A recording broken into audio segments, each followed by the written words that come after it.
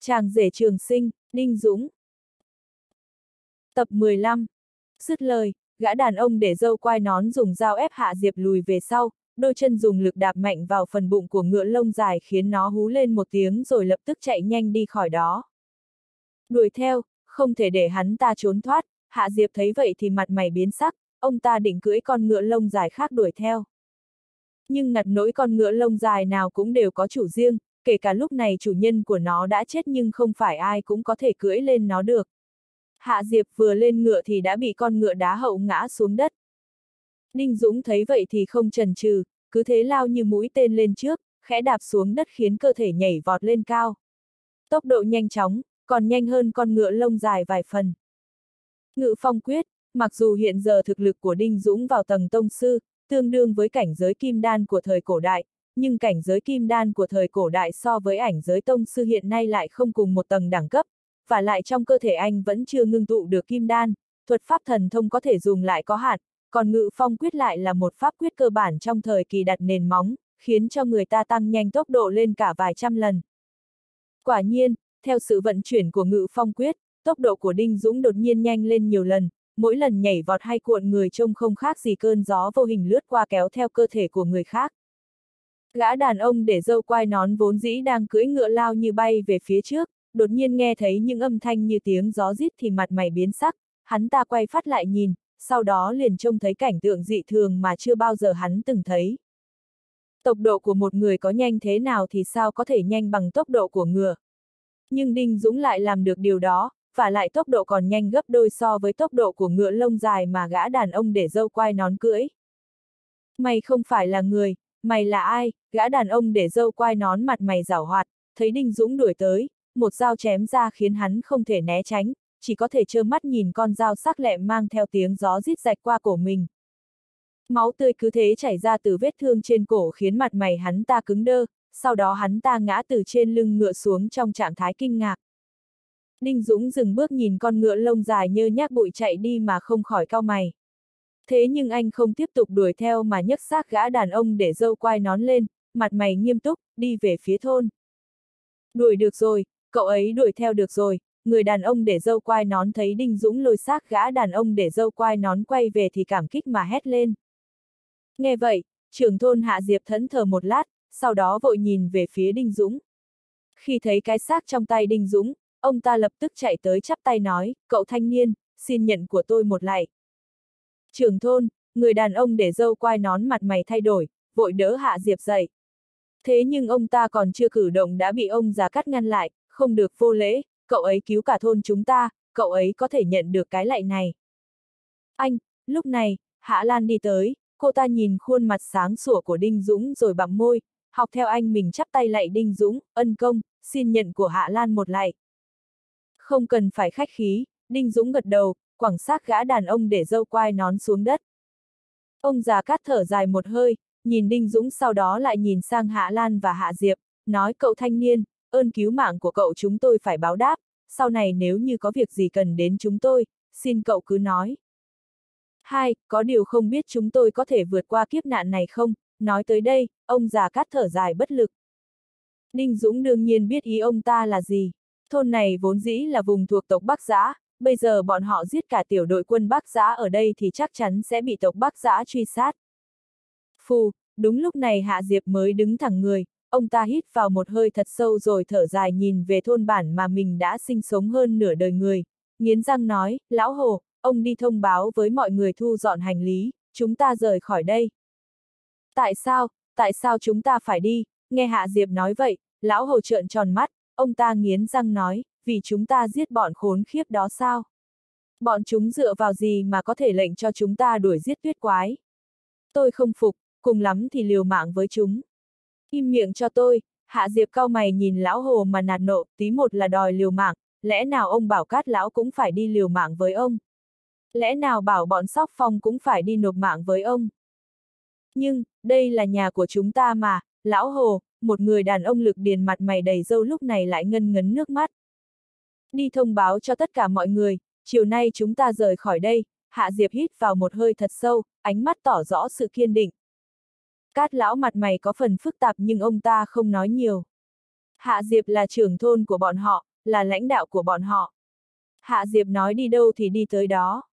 Vậy chúng ta đi đâu? Lão hồ mặt mày đầy râu nghiến răng, nắm chặt tay nói, Bắc Cảnh là quê hương của tôi, tôi có chết cũng sẽ không rời khỏi nơi này. Ai nói chúng ta phải rời khỏi Bắc Cảnh, Hạ Diệp nhìn về phía xa, trong ánh mắt đầy cương quyết, ông ta chỉ về phía mặt trời mà nói, chúng ta đi tới, La Tát Bộ.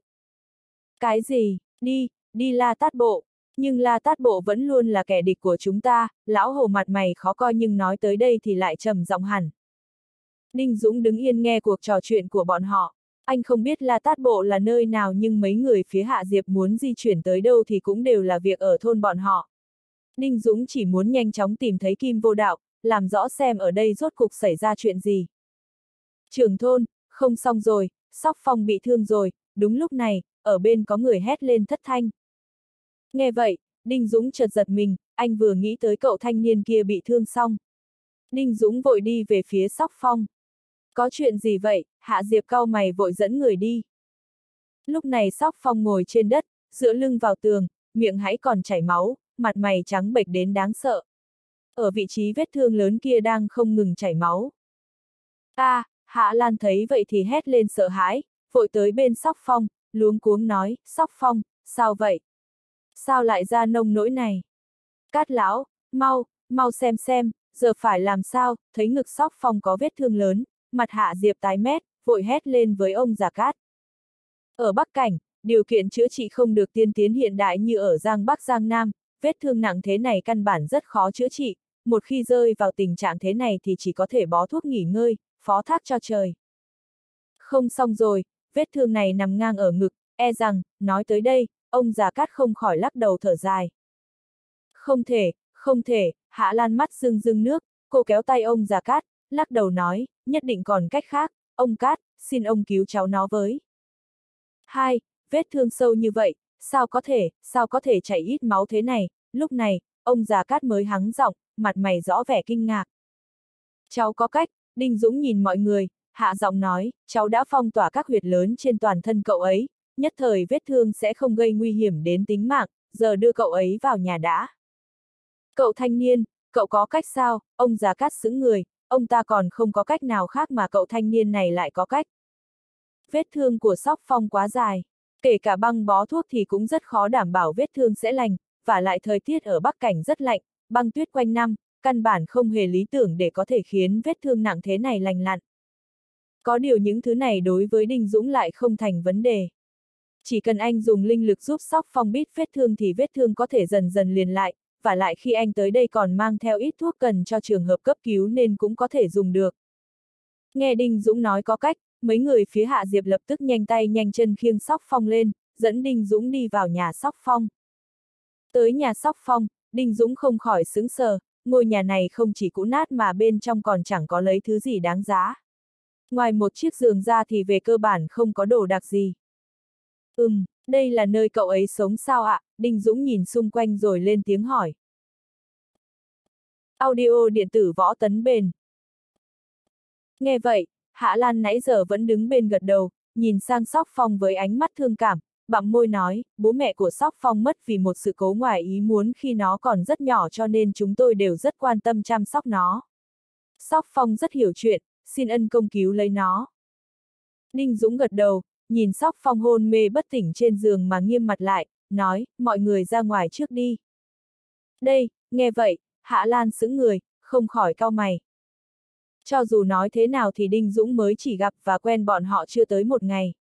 Nếu nói yên tâm thì chắc chắn không thể yên tâm được, nhưng Đinh Dũng vừa cứu bọn họ nên Hạ Lan mới cắn răng, gật đầu nói, được, chúng tôi ra ngoài đợi cậu.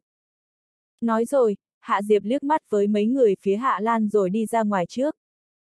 Đợi sau khi tất cả mọi người đều đã rời đi, Đinh Dũng mới đi tới bên giường của Sóc Phong, hít sâu, nhìn Sóc Phong, bình tĩnh nói, cậu thanh niên, cố gắng chịu khó một chút, có thể vượt qua hay không thì phải xem tạo hóa của cậu rồi. Nói xong, Đinh Dũng nhắm mắt tập trung tinh thần, khi anh mở mắt ra thì trong đôi mắt tỏ ra rất bình tĩnh. Anh giơ tay đặt bàn tay lên ngực Sóc Phong, một luồng linh lực thoát ra khỏi lòng bàn tay, đi vào cơ thể Sóc Phong qua vết thương lớn. Sau đó, Đinh Dũng giơ tay điểm vài điểm trên người Sóc Phong giải các huyệt vị bị phong tỏa trước đó khiến cho máu tươi tuôn ra xối xả. Ninh Dũng thấy vậy thì tay còn lại lập tức đặt lên vết thương kiểm soát linh lực bên trong cơ thể đi vào cơ thể sóc phong, sau đó nhanh chóng tu bổ vết thương của cậu ta. Phương pháp phong tỏa huyệt vị toàn thân mặc dù có thể cầm một lượng lớn máu, tránh mất máu quá nhiều dẫn đến tử vong nhưng lại khiến cho lượng máu bên trong cơ thể bị ngưng tụ. Không những để ngưng tụ thời gian dài sẽ dễ tổn thương nghiêm trọng cơ thể mà hơn nữa còn không thể làm lành vết thương. Nếu không thì khi phong tỏa các huyệt vị, Đinh Dũng tu bổ làm lành vết thương thì đợi khi giải huyệt vị trên người, e rằng sóc phong sẽ vì lượng máu lưu thông ồ ạt, dồn vào vị trí vết thương vừa chữa, như vậy sẽ mất nhiều hơn được. Do vậy mà Đinh Dũng buộc phải mở phong ấn huyệt vị trước rồi mới nhanh chóng chữa trị vết thương. Nếu thành công thì chỉ cần sóc phong từ từ tĩnh dưỡng là có thể dần hồi phục. Nhưng điều quan trọng nhất chính là sóc phong qua được quá trình tự chữa này, quá trình này vô cùng đau đớn và gian khổ. Quả nhiên, Đinh Dũng vừa giải huyệt vị của sóc phong thì máu tươi đã lập tức trào ra từ vị trí vết thương. Anh không thể không đẩy nhanh tốc độ chữa trị, linh lực hóa thành từng đường mảnh và dài khác nhau vận động bên trong cơ thể sóc phong khiến vết thương của cậu ta lành lại. Cậu ta lập tức cảm nhận được đau đớn và hét lên.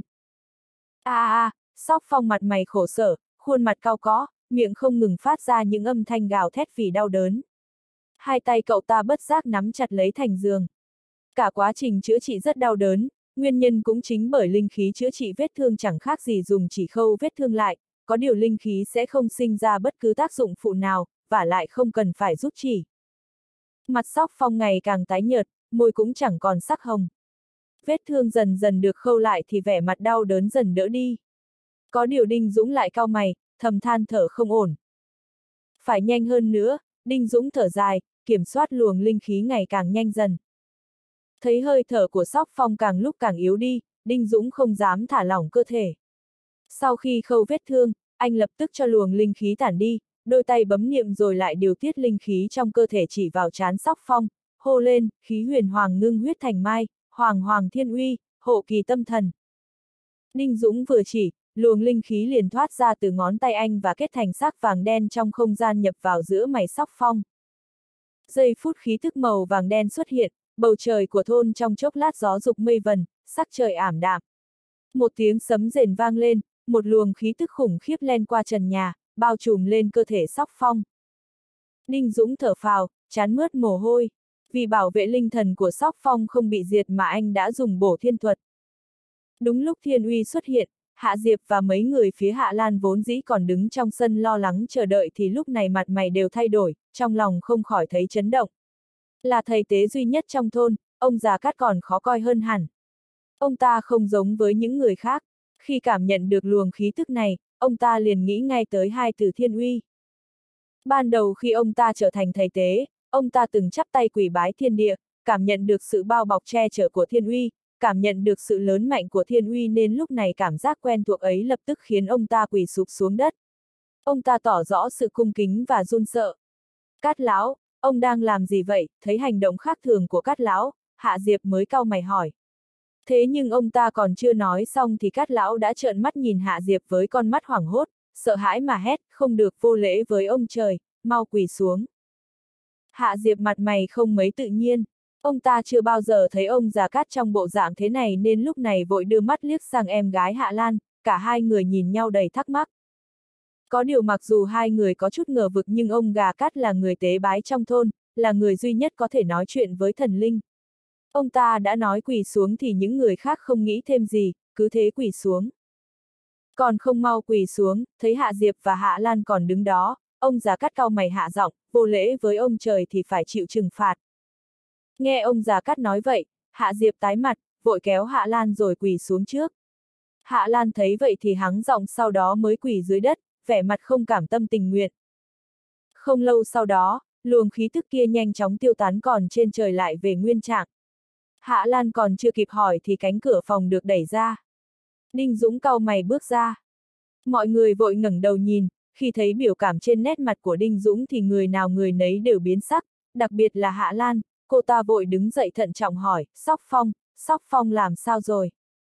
Ừm, vết thương của cậu ta, cháu đã xử lý rồi, cũng băng bó cả rồi, Đinh Dũng vẫn cau mày, nói với giọng không mấy yên tâm, thế nhưng tình hình hiện giờ của cậu ta không thích hợp để đi lại, cần nằm nghỉ ngơi tĩnh dưỡng, nếu không thì một khi vết thương rách ra sẽ nguy hiểm đến tính mạng. Hả, vậy phải làm sao chứ? Nghe Đinh Dũng nói vậy, Hạ Lan mặt mày tối sầm cả lại. Bọn họ giết đoàn kỵ binh tộc Bắc Giã xong thì sẽ có người của tộc Bắc Giã đến đây sớm thôi. Bọn họ phải nhanh chóng rời khỏi đây, vậy Sóc Phong phải làm sao? Hạ Diệp tối sầm mặt lại. Nếu như nói để lại Sóc Phong mà không màng đến thì cũng không thể được, nhưng nếu như đưa cậu ta đi cùng thì lại rất có khả năng khiến cậu ta phải bị thương thêm lần nữa, và lại Hạ Diệp cũng không thể vì Sóc Phong mà phải hy sinh tính mạng của toàn dân trong thôn. Lúc này cần quyết đoán, là người đứng đầu trong thôn, là lãnh đạo ở đây cho nên lúc này ông ta cần phải đưa ra quyết định. Hạ Diệp hít sâu, trầm giọng nói, đi, đi vào xem thế nào. Nói rồi, Hạ Diệp mặt mày nghiêm trọng đi vào trong. Vừa vào trong đã thấy Sóc Phong nằm trên giường, lúc này ngực cậu ta được quấn lớp băng dài, mặt mày tái nhợt. Trưởng thôn, chúng ta phải làm sao đây? Ông già cát thấy Sóc Phong thì lắc đầu bất lực, thở dài nói, giờ Sóc Phong như vậy thì sao có thể đi với chúng ta được? Vậy chúng ta cũng không thể để Sóc Phong ở lại không quản được, nghe cát lão nói vậy, người đàn ông để dâu quai nón cắn chặt răng rồi nói, không được thì để tôi ở lại chăm sóc cho cậu ấy, nếu như bọn chúng dám tới thì cùng lắm tôi liều với chúng. Không được, Hạ Diệp quát lên, nhìn người đàn ông để dâu quai nón chằm chằm, trong thôn chỉ còn lại vài người khỏe mạnh, ông và Sóc Phong không được để xảy ra chuyện, trong thôn còn phải dựa vào mấy người. Mọi người về thu dọn hành trang trước, Sóc Phong tôi tự có sắp xếp, nói xong Hạ Diệp xua tay tỏ ý bảo mọi người mau đi thu dọn. Anh, em không thể để Sóc Phong ở lại được, chúng ta không thể để lại mình nó, Hạ Diệp vừa dứt lời thì em gái ông ta là Hạ Lan đã đứng chắn trước cửa, mặt mày kiên định, Sóc Phong vì cứu chúng ta nên mới bị thương, chúng ta không thể làm vậy được. Trưởng thôn, hay là chúng ta, ông già cát thở dài, định nói hay là vài ngày nữa hãy đi nhưng thái độ của Hạ Diệp lại kiên quyết như vậy nên trong mắt ông ta chỉ còn lại ánh nhìn tuyệt vọng. Ông ta nói, mọi người không phải tranh cãi, việc của Sóc Phong tôi tự có quyết định, mọi người lập tức về thu dọn, chiều nay chúng ta chuẩn bị xuất phát. Anh, Hạ Lan khóe mắt rưng rưng nước, nhìn anh mình. Chưa bao giờ cô lại thấy anh mình lạ lẫm như hôm nay, nhưng cô còn chưa lên tiếng thì Hạ Diệp đã nạt lại, lập tức về thu dọn hành lý, nghe không hả? Em không về, nếu anh muốn để sóc phong ở lại thì em sẽ không đi, Hạ Lan nghiến răng gằn lên. Lão Hồ, dẫn nó đi, Hạ Diệp tối sầm mặt chỉ vào cửa mà quát, lập tức đi khỏi đây cho anh, nếu không đừng trách anh không nhận đứa em như em. Cát lão, ông ở lại, nói rồi, mặt Hạ Diệp tối sầm lại, đến bên giường sóc phong. Ông ta đặt tay lên cổ sóc phong cảm nhận một lát, sắc mặt cũng dịu dần đi. Hạ Lan, đi thôi, lão hồ nói với Hạ Lan một cách bất lực. Ông ta không dám ép cô rời đi vì nếu như vậy thì mặt ông ta cũng không tránh khỏi bị cào cho nát tương. Hừ, Hạ Lan nhìn Hạ Diệp chằm chằm, hắng giọng, quay người chạy đi. Thấy vậy, lão hồ vội đuổi theo. Vừa rồi trưởng thôn còn bảo ông ta đưa Hạ Lan đi cho nên phải trông chừng cô thật cẩn thận, nếu không lại xảy ra chuyện. Đợi sau khi mọi người rời đi, Cát Lão mới đến bên Hạ Diệp, hỏi trưởng thôn, ông muốn. Đem sóc phong phó thác nhờ cậy cậu thanh niên đó, nói tới đây, Cát Lão tỏ ra cung kính vô cùng, nói tiếp, vị đó không phải người thường, người có thể dẫn cả thiên uy thì không phải là người mà chúng ta có thể dễ dàng nói chuyện. Cát Lão, đi cùng tôi tới nói chuyện với cậu thanh niên đó, Hạ Diệp hít vào một hơi thật sâu nhìn Cát Lão. Lúc này, Đinh Dũng đang ngồi khoanh chân trong phòng, nhắm mắt điều tiết linh lực trong cơ thể. Vừa rồi anh bí qua phải dùng đến bổ thiên thuật để bảo toàn cho sóc phong, điều đó không chỉ khiến anh hao tốn lượng lớn linh lực mà hơn nữa hành động sử dụng thuật pháp ở cảnh giới cao như vậy sẽ khiến cơ thể của anh chịu ảnh hưởng xấu. Cũng may sức mạnh linh hồn trong cơ thể Đinh Dũng rất mạnh nên mới có thể ở cảnh giới đỉnh phong mà thi triển được thuật pháp đó. Có điều linh lực đã bị hao tổn rất nhiều nên cần nhanh chóng điều tiết lại. Cảm nhận được sự xuất hiện của Hạ Diệp và Cát Lão nên Đinh Dũng hít vào một hơi thật sâu rồi mới mở mắt nhìn hai người. Thưa cậu, Hạ Diệp tôi có việc xin trợ giúp, Hạ Diệp nghiến răng, quỳ dưới đất. Thấy cảnh này, Cát Lão cũng tái mặt, vội giơ tay ra đỡ lấy Hạ Diệp nhưng bị Hạ Diệp gạt đi. Ông ta lắc đầu, cung kính nhìn Đinh Dũng, thưa cậu, xin cậu cứu lấy Sóc Phong, chỉ cần cậu có thể cứu được Sóc Phong thì hàng trăm người trong thôn chúng tôi sẽ tôn cậu làm chủ. Trưởng thôn, Ông đang, lúc này cát lão càng tái mét mặt hơn. Cái gì gọi là tôn làm chủ? Nếu mà Đinh Dũng đồng ý thì cả hàng trăm người trong thôn bọn họ đều phải nhận Đinh Dũng làm chủ và bọn họ là nô lệ sao? Ý gì chứ? Cháu không phải đã cứu lấy cái mạng của cậu ta rồi sao? Mặt mày Đinh Dũng vẫn thản nhiên như thường. Anh đã dùng bổ thiên thuật, sóc phong không thể xảy ra chuyện được. Chỉ cần thương thế trên cơ thể dần hồi phục thì cái mạng của cậu ta hoàn toàn có thể an toàn cho nên Đinh Dũng mới không hiểu ý của Hạ Diệp rốt cục là gì. Chúng tôi sắp phải đi khỏi đây nhưng tình trạng hiện giờ của Sóc Phong thì, nói tới đây, Hạ Diệp lại nhìn sang Đinh Dũng. Anh còn chưa lên tiếng thì Đinh Dũng đã hiểu ý, anh cau mày, nói, ông muốn giao cậu ấy cho cháu. Cháu tới đây còn có việc khác, những nơi cháu đến rất nguy hiểm, vừa nói, Đinh Dũng vừa lắc đầu. Việc Sóc Phong bị thương tạm thời chưa cần nhắc đến. Lần này anh tới Bắc Cảnh ngoài việc tìm kim vô đạo ra thì còn nghe nói việc ở núi tuyết Ama de Blam sụt lún. Anh phải tới đó một chuyến, lúc đó có lẽ sẽ gặp rất nhiều hiểm nguy. Thưa cậu, xin cậu, chúng tôi không thể đưa Sóc Phong đi theo, cũng không thể trơ mắt để nó chết ở đây được. Hạ Diệp cúi đầu, chỉ cần cậu đồng ý đưa Sóc Phong đi thì cho dù cậu có yêu cầu gì, chúng tôi đều có thể đáp ứng. Cái gì cũng có thể đáp ứng sao, Đinh Dũng nhướng mày, trong lòng đột nhiên có thêm suy nghĩ mới. Nếu như anh có thể dùng những người trong thôn này thì anh coi như có thêm cánh tay đắc lực ở Bắc Cảnh này rồi. Sau này gặp rắc rối gì ở Bắc Cảnh cũng sẽ dễ dàng vượt qua hơn. Sống bao nhiêu năm như vậy, Đinh Dũng biết rằng việc gì cũng một mình lao vào làm thì không phải là cách hay, cần phải bồi dưỡng một đội ngũ có thể nghe theo lệnh của mình, nếu không một khi nhiều việc thì một mình anh không thể nào mà đương đầu hết được, tới lúc đó được cái nọ lại mất cái kia. Trường thôn, Cát lão nhìn Hạ Diệp với vẻ mặt bi thương thế nhưng Hạ Diệp không hề phản ứng lại, ông ta lập tức gật đầu nhìn Đinh Dũng, nói chỉ cần cậu đồng ý cứu Sóc Phong thì tất cả chúng tôi đồng ý làm theo mọi yêu cầu của cậu. Ồ, đã vậy thì, nói tới đây, Đinh Dũng nheo mắt lại, tay anh đan lại với nhau, anh chợt chỉ vào giữa hai bên lông mày của Hạ Diệp. Luồng linh khí bên trong cơ thể theo đầu ngón tay phóng ra ngoài, thâm nhập vào chán Hạ Diệp, hóa thành đường ấn chú phức tạp. Đây là một đường chú ấn khế ước, nếu như ông đồng ý làm nô lệ thì nghĩ thông, thả lỏng cơ thể để cho đường chú ấn này in vào linh hồn của ông. Từ nay về sau, sinh tử do tôi định đoạt, Đinh Dũng mặt vẫn như thường, nhìn Hạ Diệp mà thản nhiên nói, nếu như ông không đồng ý và còn phản kháng thì đường ấn chú này sẽ biến mất. Lựa chọn thế nào, ông chọn đi. Nói xong, Đinh Dũng không để ý đến Hạ Diệp nữa mà nhắm mắt lại. Nghe vậy, Hạ Diệp mặt mày biến sắc, ông ta nắm chặt tay, rõ ràng là đang phân vân, không biết phải chọn thế nào. Trưởng thôn, không thể, cát lão vội nhìn sang Hạ Diệp. Bọn họ và Đinh Dũng mới chỉ quen nhau chưa được một ngày, ai biết được tính cách của Đinh Dũng thế nào. Ngộ nhớ Đinh Dũng là một tên giết người không chớp mắt thì phải làm sao? Hạ Diệp là trưởng thôn, chỉ cần ông ta ở đây thì cho dù là cả thôn đi đâu thì thôn bọn họ vẫn tồn tại, cho nên ông ta quyết không thể để xảy ra chuyện gì, nếu không thì cả thôn thật sự sẽ không còn nữa. Tôi đồng ý, thế nhưng không đầy nửa khắc, Hạ Diệp đã quyết đoán. Ông ta mở mắt, thả lỏng sự kiểm soát về tâm trí, để cho ấn chú kia in vào linh hồn mình. Vốn dĩ Đinh Dũng còn tưởng Hạ Diệp không đồng ý. Cho dù đồng ý cũng cần trải qua thời gian suy nghĩ đắn đo rất lâu nhưng nào ngờ mới chỉ trong thời gian ngắn như vậy mà ông ta đã quyết định. Mắt anh nhìn ông ta tỏ vẻ tán thưởng, được, ông đã đồng ý làm nô bộc của tôi thì theo lệnh của tôi, ông phải tuyệt đối phục tùng, nếu không tôi chỉ cần trong chốc lát là có thể khiến ông hồn bay phách tán. Vâng, chủ nhân, Hạ Diệp lập tức quỳ gối, cúi đầu, xin chủ nhân cứu lấy sóc phong.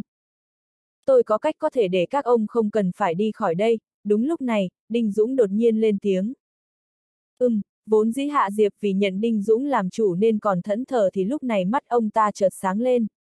Cát lão nghe vậy cũng vội nhìn sang Đinh Dũng, thưa cậu, câu này là thật sao? Có điều tôi cần hỏi các ông một số việc đã, Đinh Dũng không trả lời câu hỏi của Cát lão mà nhìn sang Hạ Diệp. Có việc gì cậu cứ hỏi, nếu như chúng tôi biết nhất định sẽ không giấu nửa lời, nghe vậy, Hạ Diệp chợt thẫn thờ nhưng sau đó nói bằng giọng cung kính. Ông nói mấy ngày trước có vài nhóm người từng tới đây, bọn họ đi đâu rồi, Đinh Dũng nghĩ một lát rồi hỏi tiếp, tổng cộng có mấy nhóm người, là những ai? Ít thì cũng phải năm, sáu nhóm, Hạ Diệp cao mày nghĩ ngợi rồi nói hết với Đinh Dũng, đều là những người ngoài vùng, và lại một nhóm người nói chuyện không cùng ngôn ngữ với chúng tôi, chúng tôi nghe không hiểu, có lẽ không phải là người ở vùng lân cận. Được rồi, tôi biết rồi, Đinh Dũng gật đầu sau đó nhìn sang Cát Lão và Hạ Diệp, nói tiếp, hai người muốn chuyển đi có lẽ là vì sợ tộc Bắc giã đến báo thù, tôi có cách khiến bọn họ không tìm ra mọi người. Không biết, cách cậu nói là gì, Cát Lão thận trọng hỏi lại. Nghe vậy, Đinh Dũng lắc đầu bình tĩnh nói, cách gì thì ông không cần biết, nếu các ông đồng ý thì cho tất cả người ở đây làm chú ấn, tôi sẽ đích thân nói cách cho các ông. Đây, Cát Lão do dự. Chúng tôi đồng ý, giờ tôi đi tập kết mọi người, biết Đinh Dũng có cách để mình không phải đi khỏi đây, Hạ Diệp như có thêm hy vọng, và lại vừa rồi ông ta cũng thấy Đinh Dũng có bản lĩnh, chỉ cần vung tay là có thể khiến mình mang theo chú ấn nên một người thực lực như vậy có muốn giết hại bọn họ thì đâu khó khăn gì. Nếu như có được sự trợ giúp của Đinh Dũng thì có lẽ sẽ không phải chuyển đi thật. Không cần đồng ý nhanh như vậy. Các ông về suy nghĩ đi đã, Đinh Dũng khoát tay tỏ ý bảo bọn họ về trước, nếu suy nghĩ xong rồi thì tối nay dẫn tất cả mọi người tới gặp tôi. Còn nếu không suy nghĩ thông được thì tối nay mình ông tới tìm tôi, tôi sẽ giúp ông giải chú ấn. Nói xong, Đinh Dũng nhắm mắt lại, không để ý tới hai người nữa. Linh lực ở Bắc Cảnh nhiều hơn ở Giang Bắc, chỉ ít thì khi Đinh Dũng ở Kim Châu, ngoài Thanh Thành Sơn ra thì anh chưa bao giờ cảm nhận được linh khí dày đặc thế này. Anh phải nhanh chóng bù đắp lại lượng linh khí hao tổn. Ở một nơi đầy nguy hiểm như Bắc Cảnh thì lúc nào cũng phải bảo đảm thực lực ở trạng thái đỉnh phong mới là quan trọng nhất, và lại sau khi thi triển bổ thiên thuật, Đinh Dũng đột nhiên cảm nhận được sự rúng động trong cơ thể, có lẽ đến lúc đột phá lên giai đoạn kim đan rồi. Đợi tới sau khi Cát Lão và Hạ Diệp đi rồi, Đinh Dũng mới ngồi khoanh chân trong phòng, bước vào trạng thái thiền định, thả lỏng tinh thần để tiếp nhận linh khí trong trời đất. Thời gian trôi qua thật nhanh, mãi tới khi trời dần tối, linh khí trong cơ thể Đinh Dũng mới hồi phục về trạng thái đỉnh phong. Anh mở mắt nhìn về phía Hạ Diệp đang đứng trong sân, hỏi ông nghĩ thế nào rồi? Tôi nghĩ xong rồi, mọi người đều ở bên ngoài, giờ tôi bảo bọn họ vào gặp cậu, Hạ Diệp thấy Đinh Dũng đứng dậy thì lập tức cung kính nói. Nghe vậy, Đinh Dũng gật đầu. Trước đó anh khắc chú ấn cho Hạ Diệp quả thực là có thể nắm lấy sinh mạng của ông ta nhưng điều quan trọng hơn cả là chú ấn này có thể khiến Đinh Dũng dễ dàng biết được tình hình của đám người. Kể cả ở cách xa cả nghìn dặm cũng có thể giao tiếp với Hạ Diệp. Không lâu sau đó, Hạ Diệp đã dẫn một toán người đi vào, cũng phải hơn 100 người, phần lớn đều là người già. Chỉ có số ít thanh niên trai tráng. Bọn họ nhìn Đinh Dũng với vẻ mặt bất an, rõ ràng là trước đó Hạ Diệp đã nói chi tiết cho bọn họ. Thấy đám người, Đinh Dũng hít sâu rồi điềm tĩnh nói, tôi không quan tâm mọi người nghĩ thế nào, đã quyết định trở thành nô bộc cho tôi thì cần phải tuyệt đối trung thành với tôi. Thả lỏng tinh thần, tiếp nhận chú ấn của tôi, dứt lời, mắt Đinh Dũng lóe qua ánh sáng, hai tay anh chắp sau lưng, từng luồng sáng ánh kim bay ra khỏi người anh với tốc độ nhanh chóng bay vào chán đám người. Nhưng ánh sáng ánh kim hóa thành đường chú ấn phức tạp trên chán mọi người, sau đó có một nhóm người đã có thêm chú ấn trong linh hồn nhưng vẫn có một nhóm người vì phản kháng nên không khắc chú ấn thành công. Xem ra, những người này không đồng ý, Đinh Dũng nhìn về Hạ Diệp lãnh đạm nói. Cái gì, mặt mày Hạ Diệp biến sắc, ông ta lập tức nhìn về phía những nông dân kia, nạt nộ trước đó tôi đã nói với mọi người thế nào. Là ai thì lập tức đứng ra cho tôi. Nghe Hạ Diệp nói vậy, mọi người đều đưa mắt nhìn nhau nhưng không ai dám đứng ra.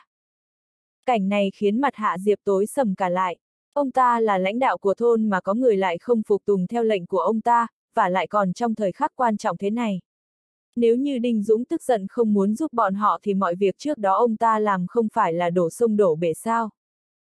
Các người, mặt mày hạ diệp hầm hầm, ông ta định tiếp tục nạt nộ thì đột nhiên bên ngoài có tiếng gầm rú vang lên. Hú, tiếng gầm rú vang từ xa tới gần, tốc độ nhanh vô cùng, như thể ngay bên tai khiến ai nấy đều tái mét cả mặt. Đinh Dũng cau mày, anh cảm nhận được có một vật rất lớn sắp tới gần. Điều khiến anh kinh ngạc hơn cả đó là khí tức có mang theo tu vi trên người vật này lại giống với người luyện khí đến tầng đỉnh phong. Xong rồi, là tuyết quái, nghe tiếng gầm rú đó, cát lão phản ứng đầu tiên. Ông ta nhanh chóng đến bên Hạ Diệp, nói, đó là tuyết quái, sao nó lại tìm được tới thôn ta? Cát lão, ý ông nói tiếng rú vừa rồi là của con gấu trắng sao, nghe cát lão nói vậy, Hạ Diệp cau mày hỏi. Những người còn lại cũng đều hoang mang thấy rõ. Âm thanh càng lúc càng gần, cho thấy nó sắp tới gần thôn. Cái gì, con gấu trắng đó sao có thể tìm tới thôn chúng ta được, trên mặt người đàn ông dâu quai nón rõ vẻ ngỡ ngàng. Trước kia ông ta đích thân đi săn bắt nên đương nhiên hiểu rõ sức mạnh của gấu trắng khủng khiếp cỡ nào. Lúc này vội nói, giờ phải làm sao đây, nếu như là gấu trắng thật thì chúng ta không phải đối thủ của nó. Cái gì mà gấu trắng, lúc này Đinh Dũng đột nhiên lên tiếng. Hạ Diệp do dự một hồi, chắp tay lại Đinh Dũng rồi nói, thưa cậu, có lẽ cậu biết tộc Bắc giã vẫn luôn truy đuổi, ép chúng tôi giết tuyết quái nên chúng tôi tổ chức một số người lấy gấu trắng ở vùng Tây Bắc làm mục tiêu. Nhưng lần đó người của chúng tôi tổn thất nghiêm trọng, nếu không thì cũng không chỉ còn lại vài thanh niên trai tráng thế này. Nói tới đây, Hạ Diệp cười khổ sở, bất lực nói tiếng rút này chính là của con gấu trắng đó. Nếu nó vào thôn thì chỉ dựa vào sức chúng tôi, chắc chắn không phải là đối thủ của nó. Đến rồi, nó đến rồi, người đàn ông để dâu quai nón hét lên. Ông ta dứt lời, mọi người căng thẳng thấy rõ, lần lượt hét lên thất thanh. Còn tiếng rú kia như bị tiếng thét của bọn họ thu hút nên càng lúc càng hướng về gần đây. Mọi người đừng sợ, giữ bình tĩnh, Hạ Diệp vội hạ giọng, đừng hét, tiếng hét càng lớn thì chỉ khiến nó đến đây nhanh thôi. Nghe trưởng thôn nói vậy, mọi người mới im bặt, chỉ có ánh mắt là mang theo nỗi sợ hãi. Duy chỉ phía những thanh niên trai tráng thì còn đỡ hơn một chút nhưng mặt mày vẫn trắng bệch. Lão Hồ, chuẩn bị tinh thần, nếu thực sự không được thì chỉ có thể liều mạng, Hạ Diệp nghiến răng nhưng ánh mắt lại liếc sang Đinh Dũng. Ông ta tin Đinh Dũng ở đây thì tuyệt đối sẽ không để mặc bọn họ, chỉ là không biết thực lực của Đinh Dũng có thể đối phó với con gấu trắng hay không mà thôi. Được, nghe trưởng thôn nói vậy, người đàn ông để dâu quai nón mới chấn tĩnh lại, lập tức vẫy tay gọi thanh niên trai tráng đi ra ngoài. Kết quả vừa ra khỏi nhà sóc phong thì nghe thấy tiếng kêu thất thanh, mấy người phía người đàn ông dâu quai nón lập tức chuồn quay về, hét lên, đến rồi, đúng là con gấu trắng đó, nó đến rồi. Xong rồi, cát lão cuống cả lên. Hiện giờ bọn họ đến vũ khí còn chẳng có, đối đầu với con gấu trắng kia quả thực là không có khả năng đánh trả. Nếu thật sự là con gấu trắng đó tìm tới thì đúng là một mẻ đánh gọn rồi. Mọi người lùi cả về sau, cát lão cao mày nhìn chằm chằm vào cửa, trong tay xuất hiện ánh sáng trắng. Thấy vậy, Đinh Dũng chợt sững người. Trên người cát lão không hề có tu vi, nhưng ánh sáng trắng trong tay ông ta lại khiến Đinh Dũng cảm nhận được sự dung chuyển kỳ lạ. Ninh Dũng lập tức nghĩ tới phương thức tu hành của Bắc Cảnh là sức mạnh đồ đằng. Người Bắc Cảnh tín ngưỡng đồ đằng cho nên các bộ lạc ở Bắc Cảnh đều có thần bảo vệ, bọn họ đem thần hộ vệ hóa thành đồ đằng, vẽ lên vũ khí của mình, hoặc thêu trên quần áo, với ý định mượn thêm sức mạnh của đồ đằng. Còn người tế bái duy nhất có thể mượn đồ đằng để tu luyện. Bọn họ có thể nói chuyện với thần hộ vệ do vậy mà địa vị của người tế bái trong bộ lạc rất cao, còn trông cát lão lúc này chính là đang người tế bái của thôn này. Có điều điều khiến Đinh Dũng không ngờ tới đó là một thôn nhỏ bé thế này mà lại có một người tế bái. Nên biết rằng kể cả là trong bộ lạc tầm trung thì địa vị của người tế bái cũng rất cao, và lại một khi có thể liên hệ với thần hộ vệ, trở thành một người tế bái thì thực lực của người đó có thể ngày càng cao. Nhờ có sức mạnh của thần hộ vệ nên sống ở Bắc Cảnh như cá gặp nước. Không ngờ bao nhiêu năm trời rồi mà Bắc Cảnh vẫn còn có người tế bái, Đinh Dũng thầm nhủ. Đã lâu trước đó, anh từng nói chuyện với người tế bái ở đây. Mặc dù sức mạnh đồ đằng trông thì khá nguy hiểm nhưng thực tế thì khả năng chiến đấu lại không ra làm sao. So với khả năng chiến đấu về võ đạo của vùng Giang Bắc Giang Nam thì lại chẳng khác là bao. Đúng lúc này, một tiếng rú lại vang lên, ngay sau đó liền có cặp mắt to lồ lộ và sáng như cái đèn lồng nhìn về phía này. Trong sắc trời tối thế này, trông nó càng tận hơn. Đây là một con gấu trắng cao phải hơn cả một trượng, đôi mắt nó tỏ rõ sự hung ác, miệng không ngừng rõ rãi, trông mới khó chịu làm sao. Cát lão thân hình gầy như que củi, khi đối diện với con gấu này thì rõ ràng là trông bé nhỏ trông thấy. Thế nhưng ông ta lại không lùi bước, ánh sáng trong lòng bàn tay càng lúc càng rõ, miệng ông ta không ngừng nhẩm lời chú khó hiểu. Đinh Dũng dù nghe không hiểu nhưng về ý nghĩa đại khái thì anh có thể hiểu được. Đại khái là khẩn cầu thần đồ đằng bảo vệ cho con dân, phần lớn những người tu luyện đồ đằng đều như vậy. Cát lão, thấy thân hình gầy gò của cát lão, Hạ Diệp mới nghiến răng đứng sau ông ta, nói, liều với nó, bảo vệ phụ nữ và trẻ nhỏ. Liều với nó, người đàn ông dâu quai nón dù vẫn còn sợ hãi nhưng lúc này ông ta lại đứng ra đầu tiên. Cũng không biết ông ta lấy đâu ra đoạn gỗ vừa to vừa dày cầm trên tay. Lùi cả đi, cát lão sau khi niệm chú xong thì toàn thân phát ra luồng khí tức, giọng nói của ông ta cũng khàn đi nhiều, nghiệt xúc, cút cho tao. Ông ta dứt lời, trên trời có tiếng sấm rền, trên đầu cát lão xuất hiện hố đen. Luồng khí tức khủng khiếp phóng ra từ hố đen đó và lập tức khiến con gấu kia dùng mình. ninh Dũng cũng nhìn vào hố đen, mặt mày thay đổi. Anh có thể cảm nhận được luồng khí tức vô cùng mạnh mẽ, luồng khí này đã lâu đời rồi nên khiến anh không khỏi cau mày, thầm nhủ, là chiêu hoán thuật, có thể vượt giới để cho thần đồ đằng nhập vào thì e rằng đẳng cấp không hề đơn giản. Đây chắc chắn là đẳng cấp trên cả huyền cấp. Một người tế bái có thể sử dụng chiêu hoán thuật mà lại sống ở một thôn nhỏ bé thế này thật khiến người ta cảm thấy khó tin. Thế nhưng đúng lúc này, con gấu trắng kia đột nhiên giống lên, nó điên cuồng hướng về phía hố đen, hồi lâu nó gần như cảm nhận được gì đó nên không những không lùi về sau mà ngược lại còn tiến lên một bước. Còn Đinh Dũng thấy thế thì cao mày.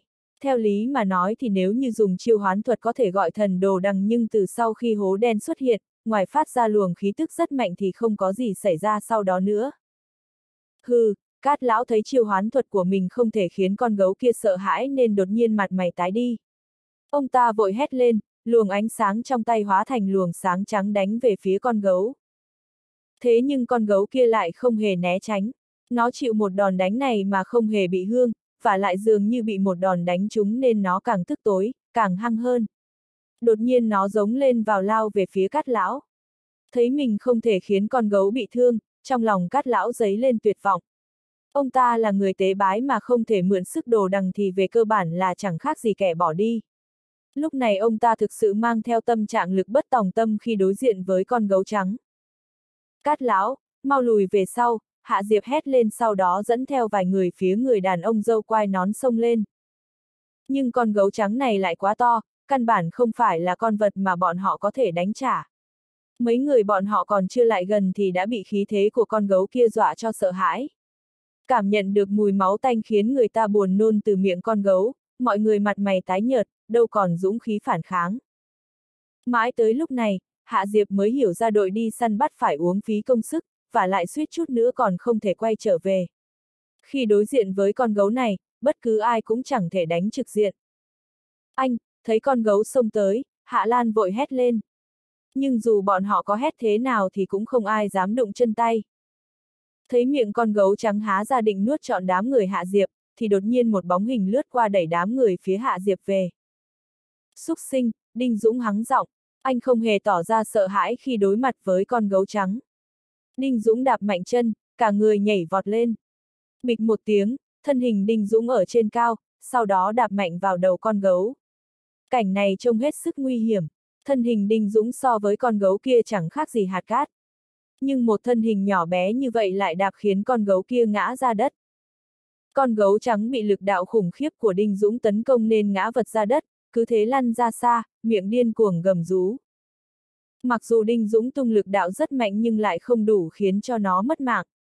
Anh cũng đã nghĩ về điểm này nên giây phút con gấu kia ngã ra đất, anh bèn lao nhanh như mũi tên sông về phía nó, trong tay không biết đã nhặt được cây gậy gỗ rơi mà người đàn ông dâu quai nón làm rơi dưới đất từ lúc nào.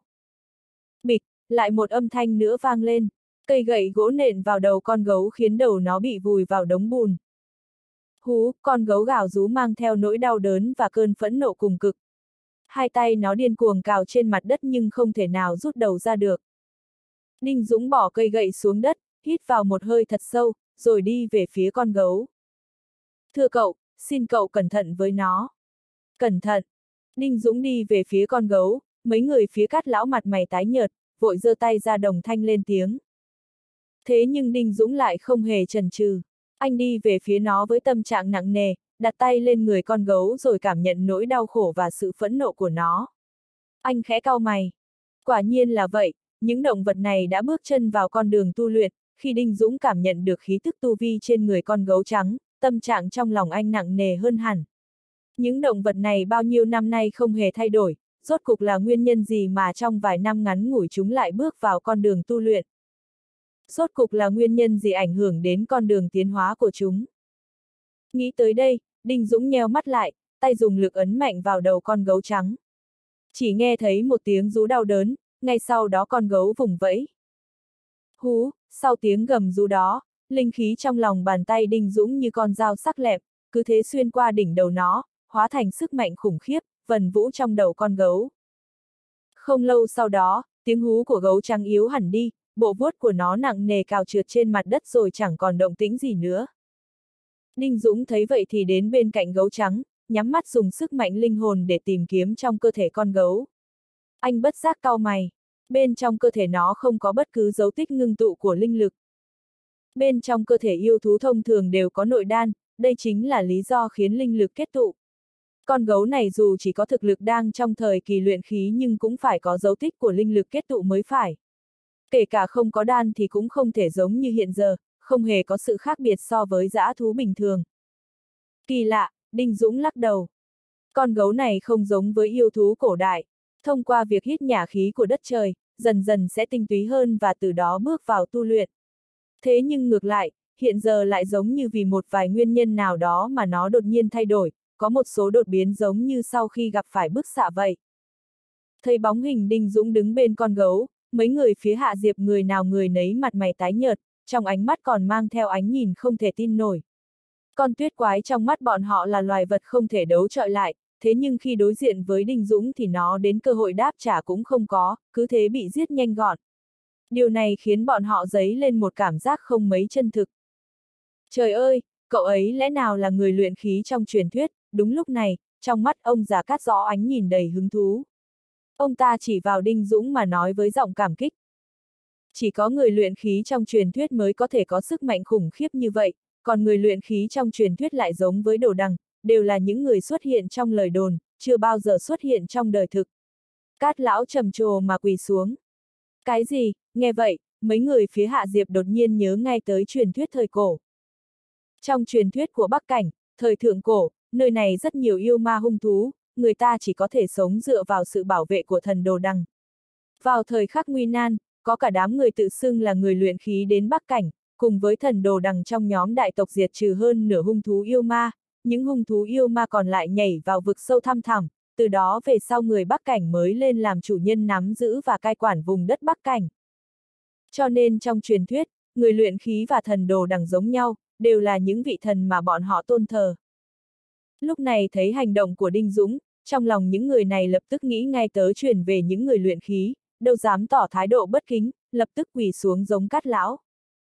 Cảm nhận được động tĩnh phía sau mình, Đinh Dũng xứng người quay đầu nhìn về phía nhóm người hạ diệp, thấy khuôn mặt bọn họ rõ vẻ tôn sùng, miệng không ngừng hô hai từ thần minh thì không khỏi cảm thấy bất lực. Có điều Đinh Dũng chỉ thoáng chút suy nghĩ là có thể đoán được có chuyện gì xảy ra. Thời tiên tần, nơi này là vùng đất của hung thú, triều đình từng phái đại quân giúp người Bắc Cảnh diệt trừ yêu ma hung thú, vì vậy những người này tôn thờ người luyện khí thời tiên tần, gọi họ là thần minh cũng có đạo lý cả. Mọi người đứng dậy cả đi, nghĩ vậy, Đinh Dũng cười bất lực khoát tay tỏ ý bảo mọi người không cần hành lễ. Nghe vậy, cả đám người đưa mắt nhìn nhau, không ai đứng dậy, còn Cát Lão nhìn Đinh Dũng với vẻ mặt thành kính, trong ánh mắt rõ sự hưng phấn, nói, xin thần minh bảo vệ chúng tôi. Tôi không phải là thần minh, Đinh Dũng lắc đầu. Vốn dĩ anh không phải là thần gì cả, và lại theo như anh thấy thì người được gọi là thần chẳng qua chỉ là tu sĩ có tu vi cao hơn một chút mà thôi. Vị thần giống như trong truyền thuyết thậm chí đến cảnh giới lục địa thần tiên còn chưa đạt được, chỉ vì diệt trừ được hai con tiểu yêu mà được người thường phong làm thần minh. Đến cả nữ oa mà xưa kia Đinh Dũng đi theo cũng còn chưa tự xưng là thần nữa là. Sao có thể chứ, nghe vậy, Cát lão lập tức cuống quyết nói, xin thần minh bảo vệ chúng tôi, xin. Lần này ông ta còn chưa nói xong thì Đinh Dũng đã xua tay. Anh nhún vai nhìn Cát lão nói, ông là thầy tế bái mà gọi tôi là thần thì ông không sợ vị thần đồ đằng của ông nổi giận sao? Cát lão là thầy tế, chắc chắn có tín ngưỡng bất diệt với vị thần đồ đằng. Bây giờ ông ta xin Đinh Dũng bảo vệ bọn họ thì coi thần đồ đằng là gì chứ? Và lại vừa rồi chiêu hoán thuật của Cát lão mặc dù chưa hoàn thành nhưng thông qua đó, Đinh Dũng đã cảm nhận được sự uy nghiêm vô cùng. Thực lực của thần đồ đằng không hề yếu, chỉ ít thì trên huyền cấp, rất có khả năng đã đạt tới địa cấp.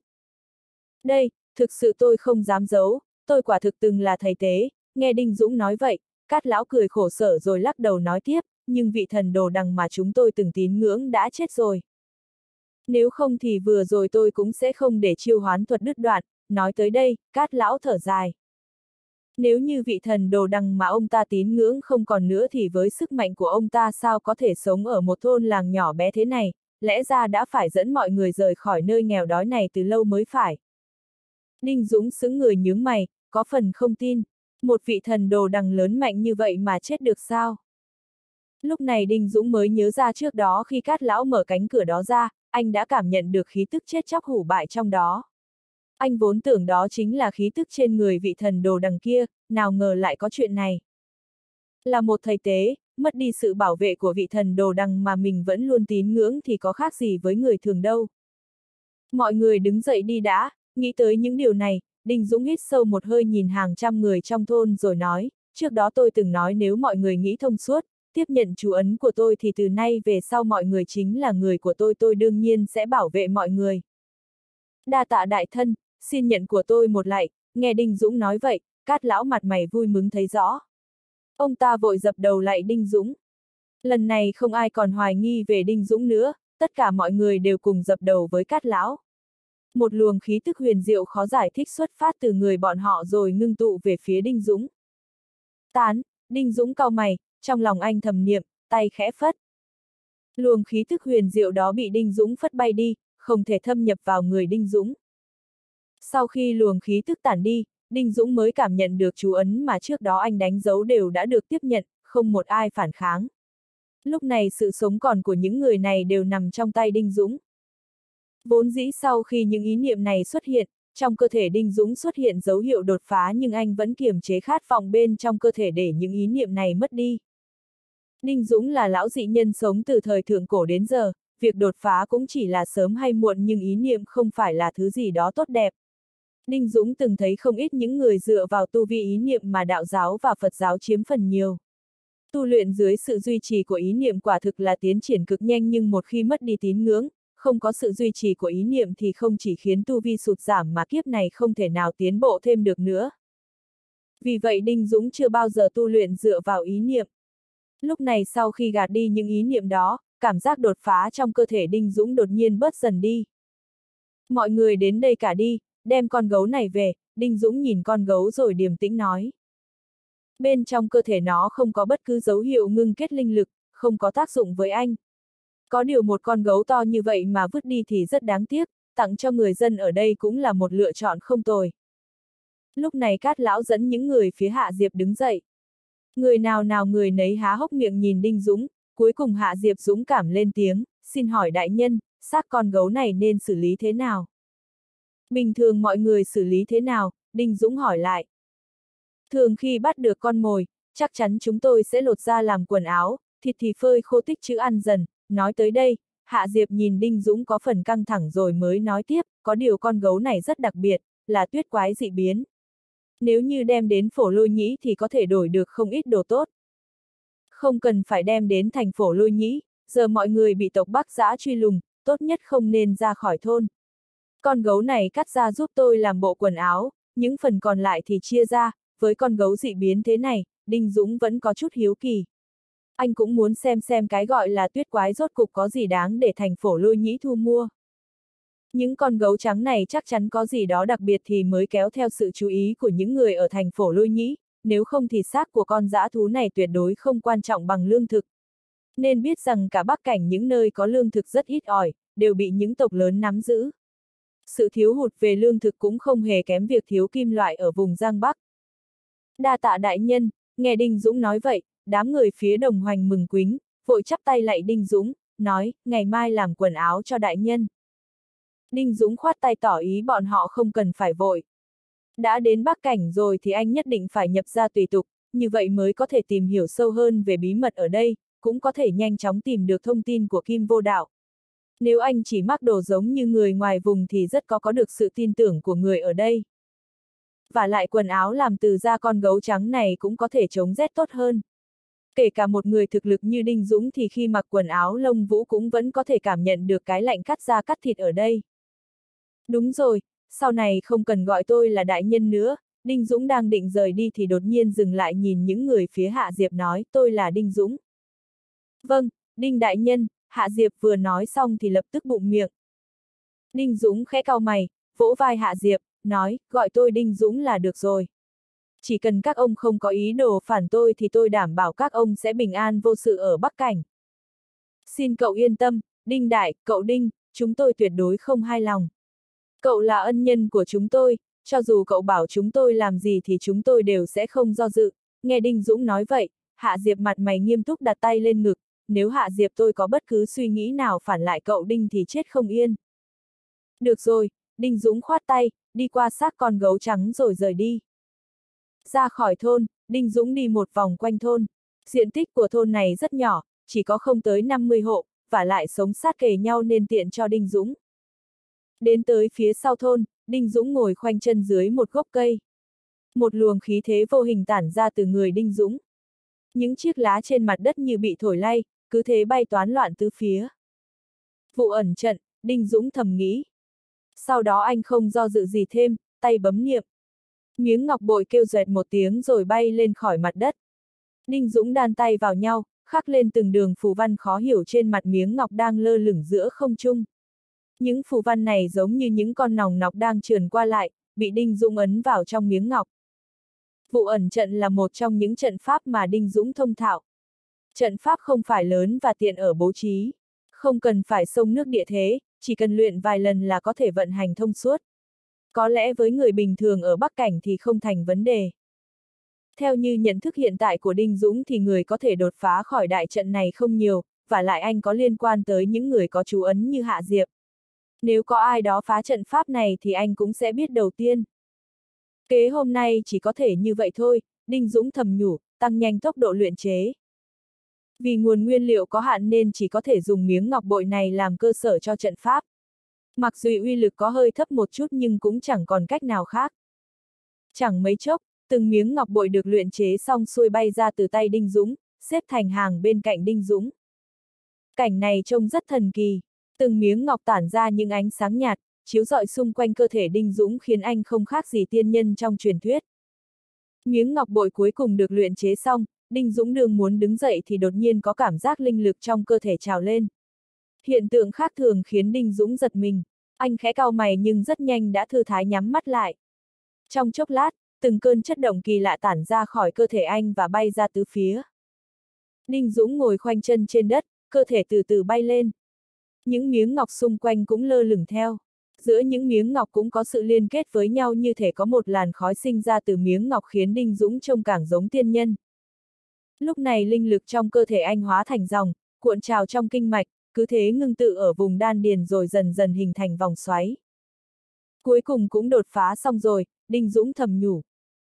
Anh đã trải qua không biết bao nhiêu lần thế này, từ giây phút ngỡ ngàng thuở ban đầu cho tới giây phút thuần thục sau này, tới cuối cùng thì thành công, vì vậy anh cũng đã kết ra được các loại kim đan. Lúc này tâm trạng Đinh Dũng thư thái thong thả, không mưu cầu, linh hồn như phiêu giạt khỏi cơ thể bay lên không trung.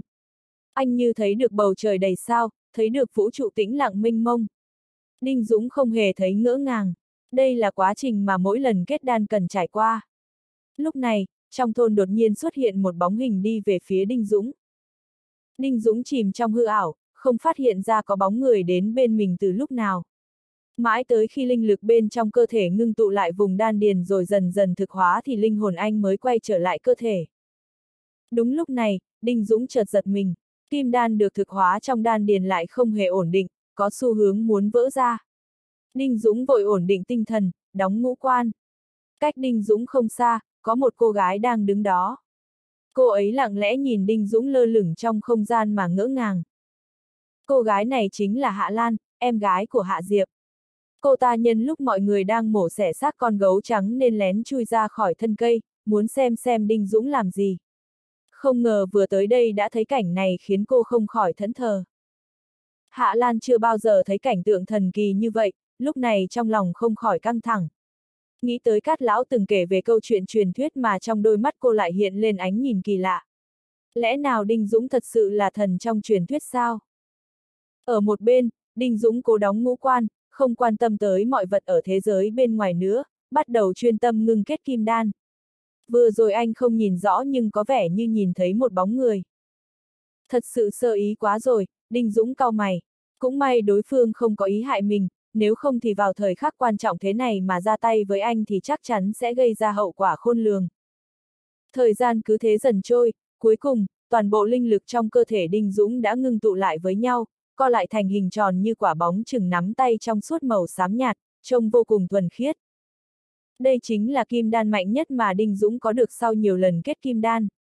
Đan vốn dĩ không bao hàm bất cứ thuộc tính nào, thuộc tính thuần nên chỉ cần tu luyện công pháp tương ứng là có thể biến đổi theo thuộc tính tùy ý. Không bó buộc thuộc tính đơn nhất, khả năng chiến đấu đương nhiên có thể tăng lên gấp bội. Sau khi hoàn thành việc kết đan, một luồng khí tức lan ra từ trong cơ thể Đinh Dũng, cả người anh như được thay ra đổi thịt.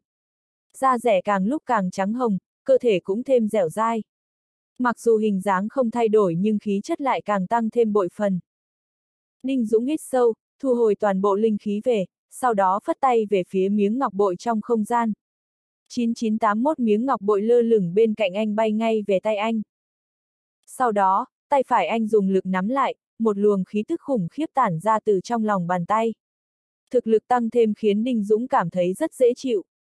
Thực lực ban đầu là tông sư, hiện giờ anh đã bước vào thời kỳ kim đan, thực lực hoàn toàn vượt qua tông sư bình thường. Đại, đại nhân xin tha mạng, mãi tới lúc này, Hạ Lan mới phản ứng lại, vội quỳ dưới đất, lên tiếng, Hạ Lan không cố ý nhìn trộm đại nhân luyện công. Cô đến có việc gì, Đinh Dũng cau mày hỏi.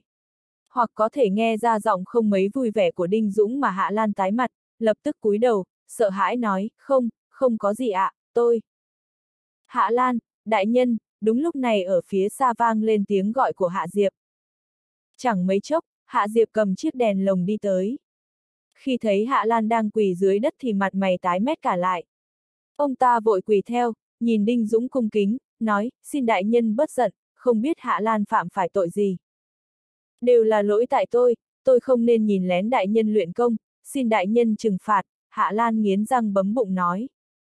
Lúc này trong lòng cô hối hận mãi không thôi, vị thần trong truyền thuyết chắc chắn đều là lão quái vật, tâm tính hỉ nộ vô thường.